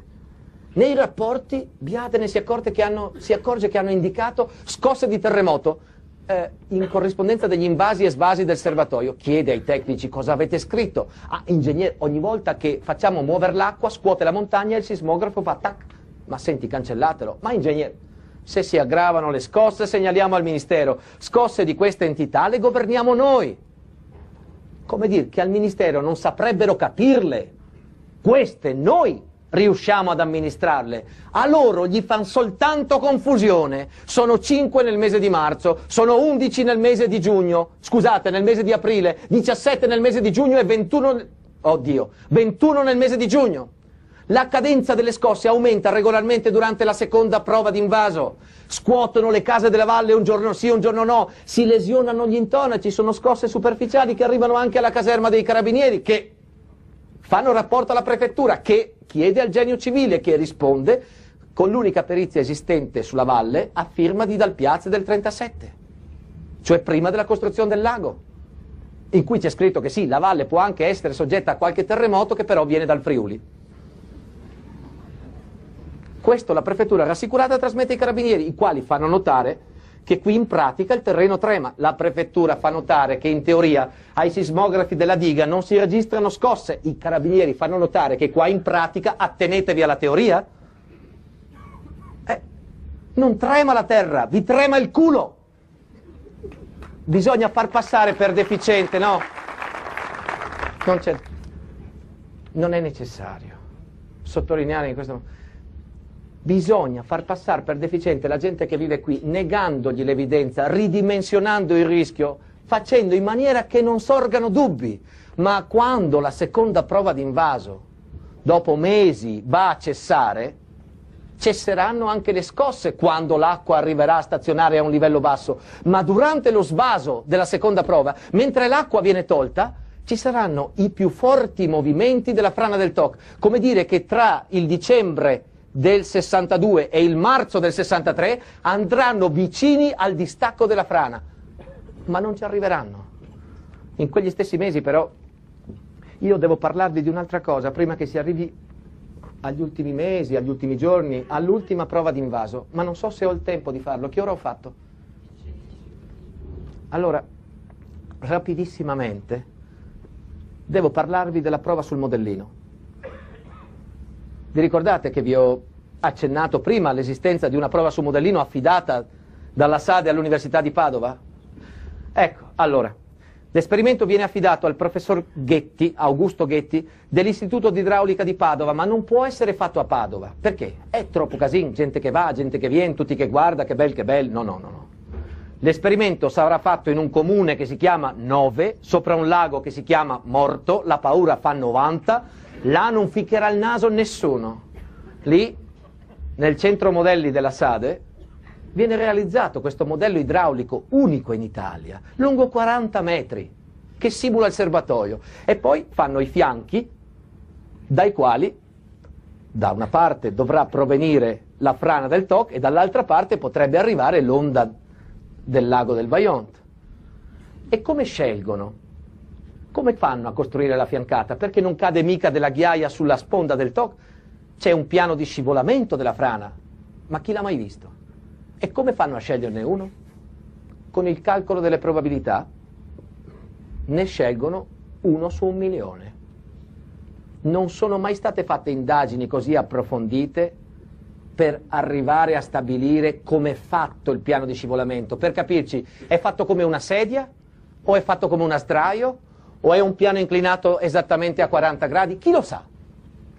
Eh, allora ne scelgono uno possibile e in base a questo viene simulata su questo piano ipotetico di scivolamento la caduta della frana del TOC compatta, massiccia, rocciosa. Quale materiale viene usato per fare la frana rocciosa del TOC? Ghiaia del Piave. Tutti d'accordo?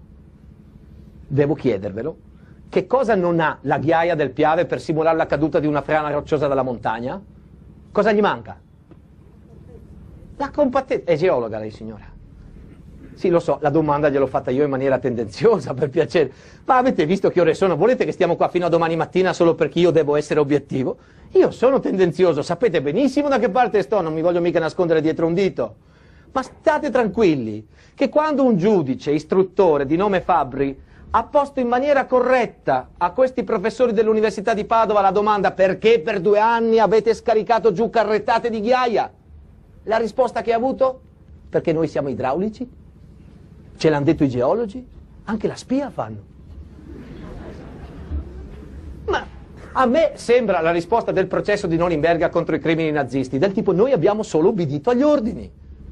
Ma possibile che un dubbio in un, in un, modellino idraulico è di fondamentale importanza la scelta dei materiali. Aver usato ghiaia ti dà dei risultati non confrontabili con la realtà. Quando hanno rifatto l'esperimento in Francia, dopo il Bayonne, hanno usato lastre di calcestruzzo abitate insieme e allora sì hanno avuto risultati confrontabili. Ma gli italiani dicono sì, ma i francesi sapevano già come era cascata la frana. E allora perché non l'avete rifatto in Italia? Perché il giudice Fabri che ha istruito il processo del Bayonne non ha trovato in Italia nessun istituto idraulico disposto a rifare esperimenti che avrebbero creato imbarazzo ai colleghi dell'Ateneo Patavino. E per trovare un collegio di periti ha dovuto girare l'Europa per trovare qualcuno che avesse il coraggio di denunciare questo esperimento e la prevedibilità della frana del Vajont. Se no, per l'intero corpo accademico italiano questo è accaduto per pura fatalità straordinario senso civico del dovere dell'intero corpo accademico italiano su questa questione.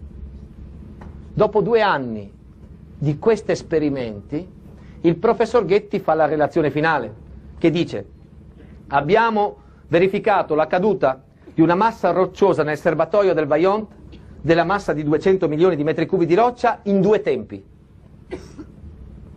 Perché in due tempi?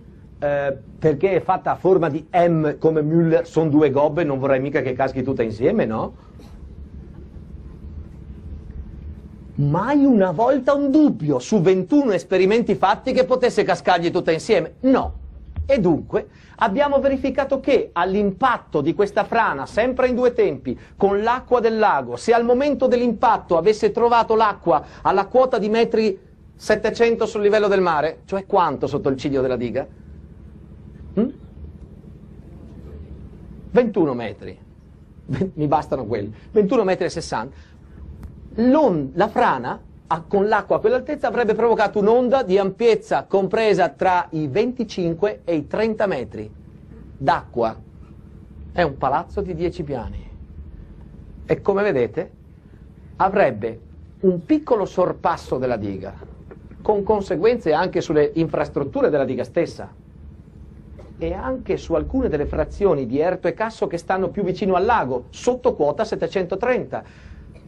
Ma il professor Ghetti aggiunge, attenzione, che se quando cade quella frana, con quelle caratteristiche che vi ho detto prima però, trova l'acqua a una quota più alta, mettiamo che trovi l'acqua a quota 715, cioè soltanto 6 metri sotto il ciglio della diga, con quella differenza l'onda provocata dalla frana avrebbe un'ampiezza infinitamente più grande, con conseguenze catastrofiche all'interno della valle per l'azione di dilavamento delle sponde e oltre la valle per lo sfioro di un'enorme massa d'acqua oltre il ciglio della diga stessa verso i paesi di fondovalle.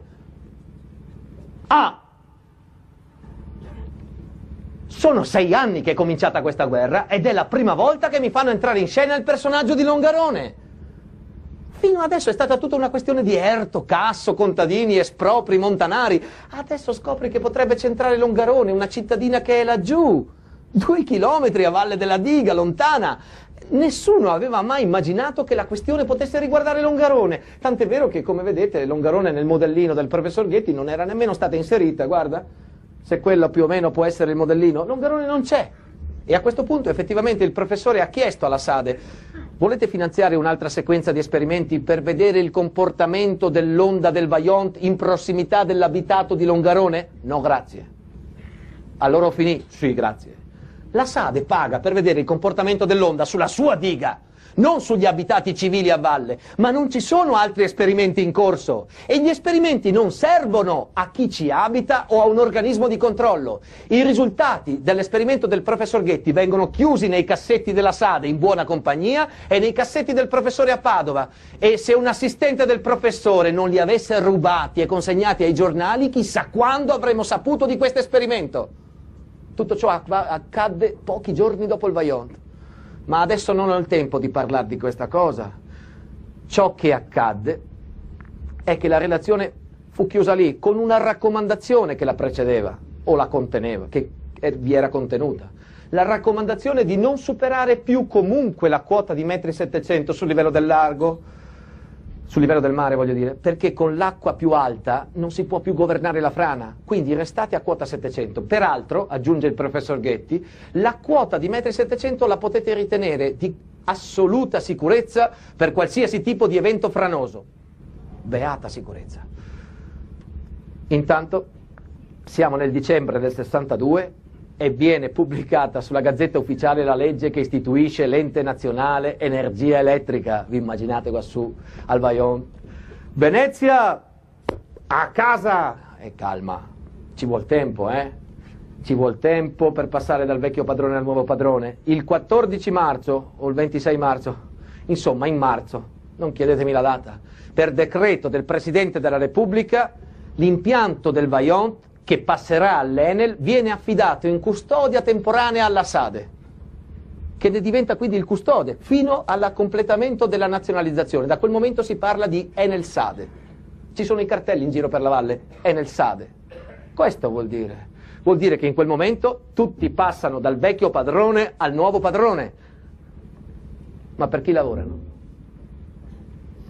Per il vecchio o per il nuovo? Sa l'Enel della frana del TOC. E chi è che deve dirglielo? Anche se io andrò a lavorare per l'Enel, devo dirglielo io all'Enel della frana, scusa, dai. E poi, e poi scusate, il discorso è un altro. Quando io vendo la macchina usata, devo dirglielo io a quello che la compra come va. Se lui me lo chiede, cosa gli dico? Ben? Hai mai visto in vendita macchine usate che vadano male? Ma non le compra nessuno quelle che vanno male. Se poi quello lì insiste della tua macchina, vuole sapere dei freni, cosa gli dici dei freni? Regolari, no? Oddio, tu lo sai benissimo che se è bagnato a lui gli conviene fare così piuttosto che così. Perché la tua macchina, se la conosci, la eviti. In mano tua ti salvi, in mano a un altro è omicidio colposo. Se proprio hai scrupoli di coscienza, eh, eh, cosa fai? Gli dai le chiavi adesso che hai trovato uno che te la compra invece che rottamarla, dai, non li butti via i soldi, gli dai le chiavi, gli dici to, porta la macchina dal tuo meccanico. Se il suo meccanico non se ne accorge, oh, io ho la coscienza pulita, ho fatto quel che dovevo, stesso bel gesto fa la Sade, dà le chiavi della diga all'Enel, to, portala dal tuo meccanico, ma il meccanico dell'Enel è lo stesso della Sade. E perché dovrebbe imbrogliare? Perché c'è imbroglio? Cristo con tutto quello che qui c'è cascato sopra, questo è rimasto sotto, ma l'imbroglio c'è nel contratto. L'Enel, il 27-26 luglio 1963, prende in consegna il Vaillant dalla Sade come impianto funzionante, pagina 9 dell'allegato A del protocollo d'acquisto. Ma come funzionante? Se manca ancora il, la terza prova d'invaso, manca il collaudo che è in corso, come può essere funzionante?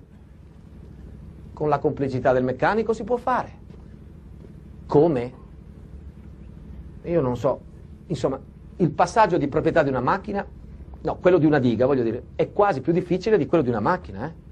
Io quello della macchina due o tre volte l'ho fatto. Se adesso l'Enel vende le dighe, io una la compro e poi vi spiego come si fa, ma secondo me non è facile perché bisogna stabilire il valore bene, dei beni mobili, immobili, di tutte le voci che entrano nel passaggio di proprietà, ci vuole tempo.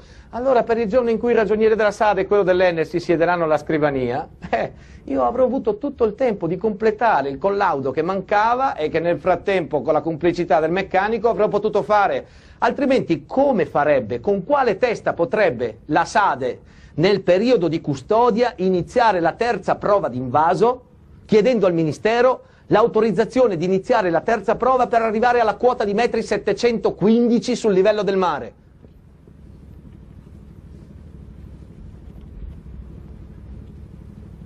Bastardi. Brutti bastardi. E la raccomandazione di Ghetti nel cassetto non superate 700?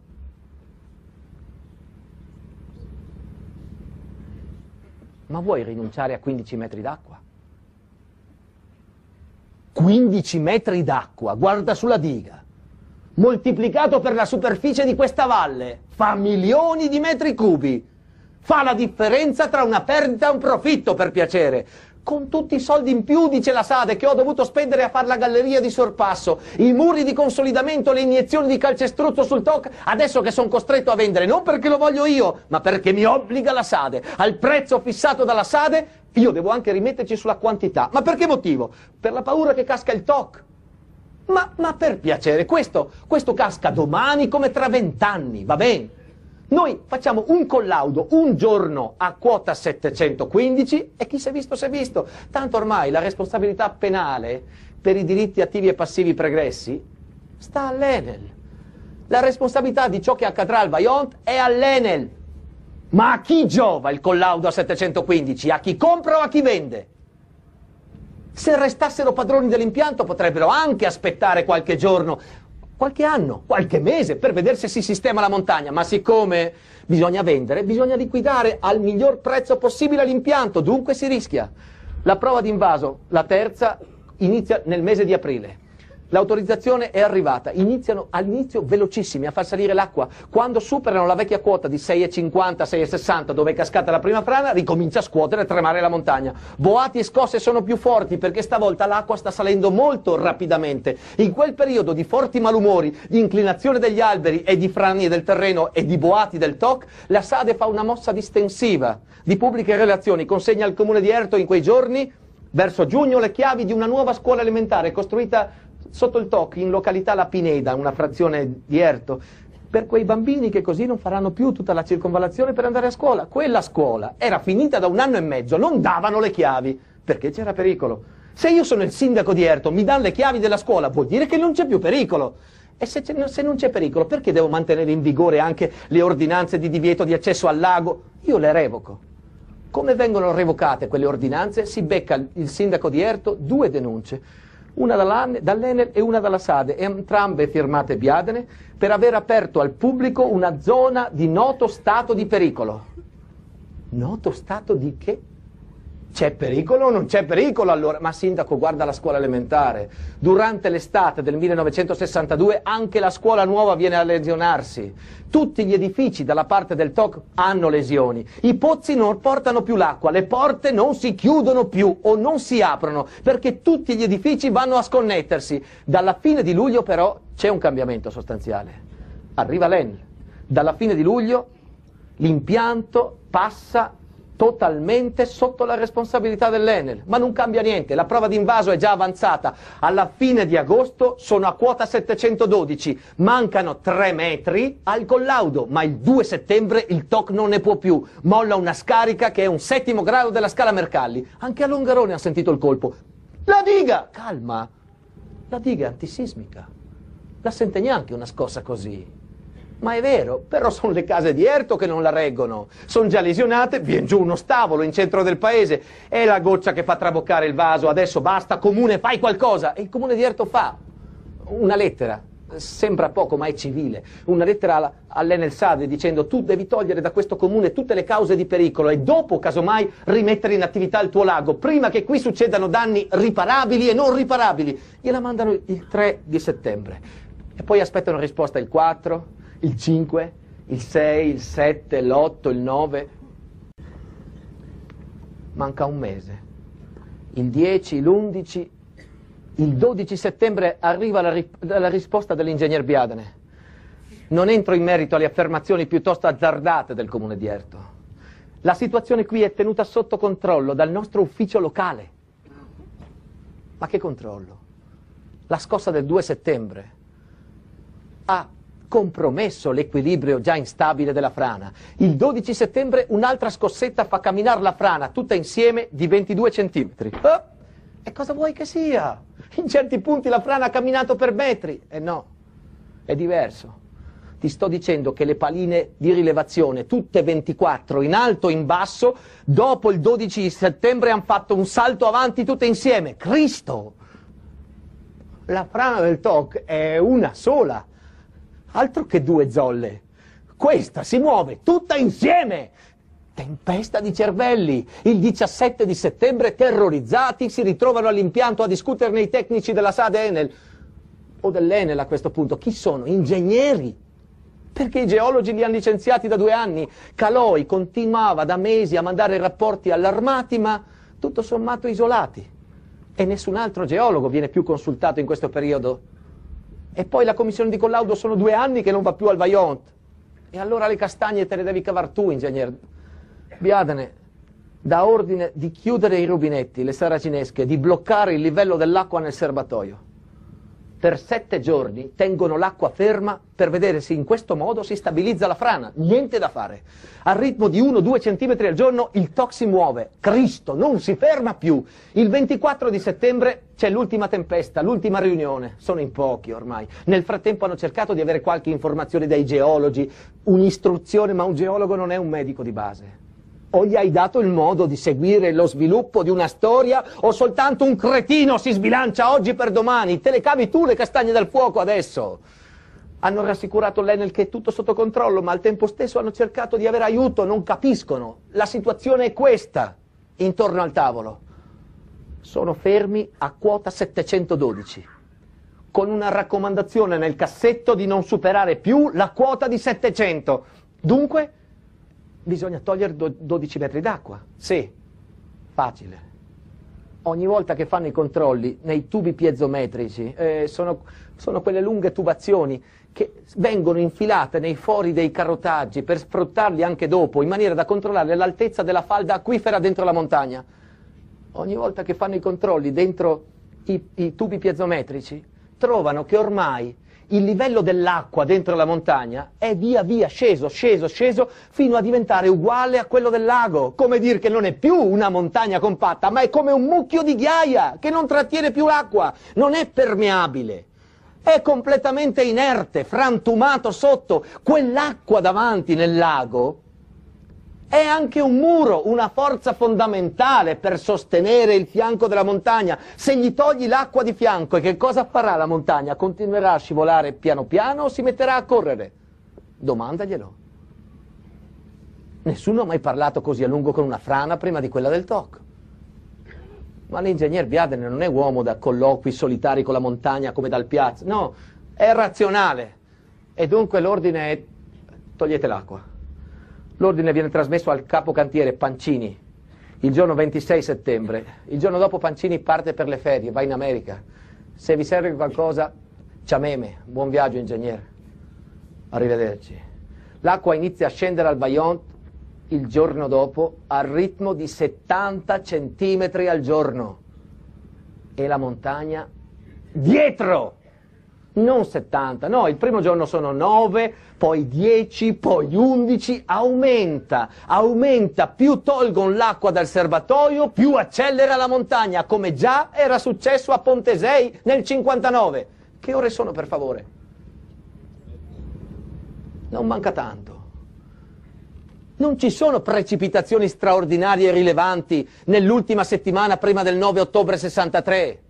Quel che accade è direttamente legato a questa gara. Riusciranno i nostri eroi a portare l'acqua nel serbatoio alla quota di sicurezza prima che gli caschi in testa la montagna? E, e la gente che ci abita sopra il TOC, che facciamo? Quelli bisogna sgombrarli, mandarli via, ordinanze di sgombero. E la gente che ci abita davanti, quelli no, quelli li teniamo. A quelli non si dice niente, quelli vengono rassicurati anche se boati, scosse aumentano, provocano telegrammi all allarmati dal comune di Erto. Scherzano agli operai, scherzano giù a Longarone dicendo oh, sapendo quel che succede su. Se quando casca la montagna la diga tiene, ciao Erto, ma se quando casca la diga molla, a Longarone andate in giro con stivali e con l'ombrella. Ma tutti sanno che la montagna sta cascando. Tutti scherzano su questo e proprio perché tutti lo sanno nessuno pensa che ci sia pericolo, perché se lo sanno e non ti mandano via vuol dire che è tutto sotto controllo. E invece la situazione si aggrava. Un telegramma dell'Enel Sade al comune di Ertocasso in data 8 ottobre 1963, ore 12. Urgente. Acceleramento del movimento franoso zona TOC rende necessario sgombero delle persone segnaliamo quanto interessato procedere urgentemente. A seguito del telegramma il Comune di Erto fa un avviso che viene pubblicato. Si porta a conoscenza della popolazione che gli uffici tecnici dell'Enel Sade segnalano la instabilità delle falde del TOC ed è pertanto prudente allontanarsi dalla zona che va da Costa Gervasio alla Pineda. La gente di Casso, in modo particolare, si preoccupa di approfittare dei mezzi dell'Enel Sade per sgomberare la zona e siccome le frane del TOC potrebbero sollevare ondate paurose su tutto il lago. Si avverte ancora tutta la gente che è estremamente pericoloso scendere sulle sponde del lago. Le ondate possono salire per decine di metri e travolgere, annegandolo, anche il più esperto dei nuotatori. Chi non ubbidisce ai presenti consigli mette a repentaglio la propria vita. Erto Casso, Liotto 10, 1963. Siamo all'ultimo giorno. Oggi, 9 ottobre, 34 anni fa, era una giornata di sole. Oh sì, una di quelle giornate che in montagna è più limpido che d'estate. Ma che scuola, se sei un bambino, una giornata così prendi e vai su, magari sul TOC, perché in una giornata del genere si vede Venezia e da Venezia senti arrivare i fili del telefono da Roma a Venezia, Venezia Longarone, Longarone Vaillant, roventi di telefonate, Biadene che telefona al geologo Penta a Roma, Penta da Roma lo esorta a non fasciarsi la testa prima di essersela rotta, gli dice che la situazione vista da lì non gli sembra così grave, quell'altro gli dice che da Longarone sì. Poi scrive al capocantiere Pancini, mi spiace ma devo farla rientrare dalle ferie Pancini, oggi la velocità di avanzamento della frana è accelerata del 50%, che Dio ce la mandi buona. La resa mistica. È comodo, ingegnere non hai più tecnica, ti resta la resa mistica. Alle 6 di sera chiude il cantiere. C'è una macchina che lo aspetta per riportarlo a Venezia. Qui, alla cabina di controllo, sopra la diga del Vaillant, resta un geometra, Rittmeier, con i suoi operai. Sono in due nella cabina di controllo. Le ultime ore del 9 ottobre hanno tolto un metro e mezzo d'acqua per arrivare alla quota di sicurezza. Ce l'hanno fatta, ma, ma, ma la montagna ormai cammina a occhio nudo. Quando arriva il buio, accendono una foto elettrica. L'ultima notte che questa valle ha visto le foto elettriche è stato il 9 ottobre del 63, che sembrava a questi che fossero tornati tedeschi a far rastrellamenti e invece no, che quella notte le foto elettriche illuminava i pini che si erano messi a inclinarsi le ultime ore a occhio nudo. Rittmeier è lì nella cabina a vetri, vede la montagna che gli casca, fa due calcoli e si accorge che anche se arriva un'onda di 30 metri solamente, li travolge e poi travolge certe frazioni di Ertocasso che non sono state sgomberate. Ma lui è un, è un geometra, non può sgombrare un paese. Telefona all'ingegnere a Venezia. E qui parte la leggenda del Vaillant, di una centralinista che abbia sentito la telefonata, si sia intromessa a chiedere che cosa state dicendo. C'è pericolo per l'Ongarone o la bambina, signora nostria, tranquilla e dorma bene. Rittmeier viene rassicurato, rincuorato da Biadene che lo esorta a dormire con un occhio aperto e un occhio chiuso, che non è facile. In base alla telefonata vengono allertati i carabinieri di Erto quella notte a istituire un posto di blocco. Nessuno può percorrere la strada quella notte che da Erto scende a Longarone e viceversa. Anche l'ingegner Caruso, che lavora per la Sade, per l'Enel a Venezia, il vice di Biadene, ha degli ordini, delle richieste per polizia stradale e carabinieri cui viene richiesto di preparare posti di blocco preventivi sulla statale di Alemagna a Tai di Cadore e Ponte nelle Alpi, a nord e a sud di Longarone. Con che motivazione? Credo non disturbare la frana. Non ne vedo altre. E Longarone è lì, davanti alla gola, perché a Longarone non si dà l'allarme d'evacuazione? per non creare panico? O perché o perché è un rischio calcolato, ma insomma i tecnici hanno le famiglie, qui al Vaillant qualcuno si aspettano la fine del mondo, manderebbero via almeno, almeno la moglie, no? Ma li hanno rassicurati che tutto è sotto controllo, adesso che ore sono? 35? O mancano 4 minuti? Non si sgombra un paese in 4 minuti. Il 9 ottobre del 63 a quest'ora Longarone è piena di gente, nei bar, a guardare una partita di calcio, Ranger Glasgow contro Real Madrid. C'era l'Eurovisione che, insomma, era una finta diretta, cominciava alle 10 di sera, no? Dopo la partita iniziava l'Eurovisione. E il secondo canale a Longarone era arrivato da pochi mesi.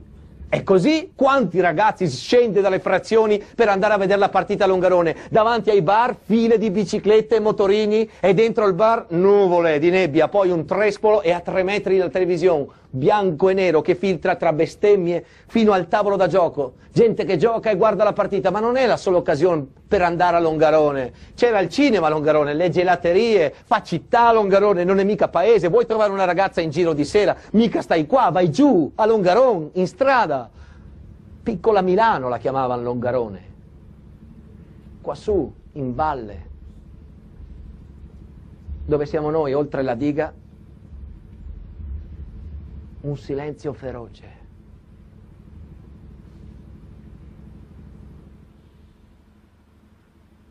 L'ultima bava di ragno che tiene unita la frana al resto della montagna, rotta. E la frana è ancora là. Su un piano inclinato, non c'è mica niente che la tenga attaccata al resto della montagna, ma è lì ferma.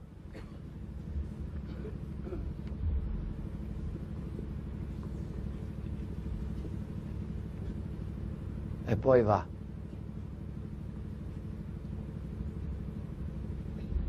Cos'è che la fa andare?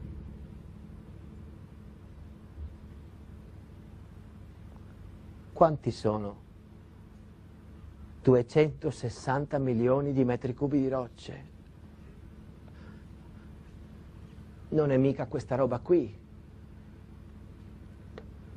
Quella dove siamo noi è un francobollo sulla frana del Vaillant. Ma che ti illudi? La frana del Vaillant è partita lassù, 500-600 metri più in alto di dove siamo noi, su un costone di montagna che non si vede. Lassù, in alto, abbarbicati stavano i boschi, un mondo intero fatto a M che alle falde aveva stalle, una latteria, aveva case, una strada, campi coltivati, due torrenti, uno stagno, colline, boschi. Un mondo intero fatto a M, con gli animali nelle stalle che muggisce disperati, con quelli alla catena che soffoca per scappare, con gli umani che sono lì per governare le bestie e capisce di colpo che è troppo tardi. Un mondo intero. Passa da 60 centimetri a 100 chilometri all'ora. Adesso!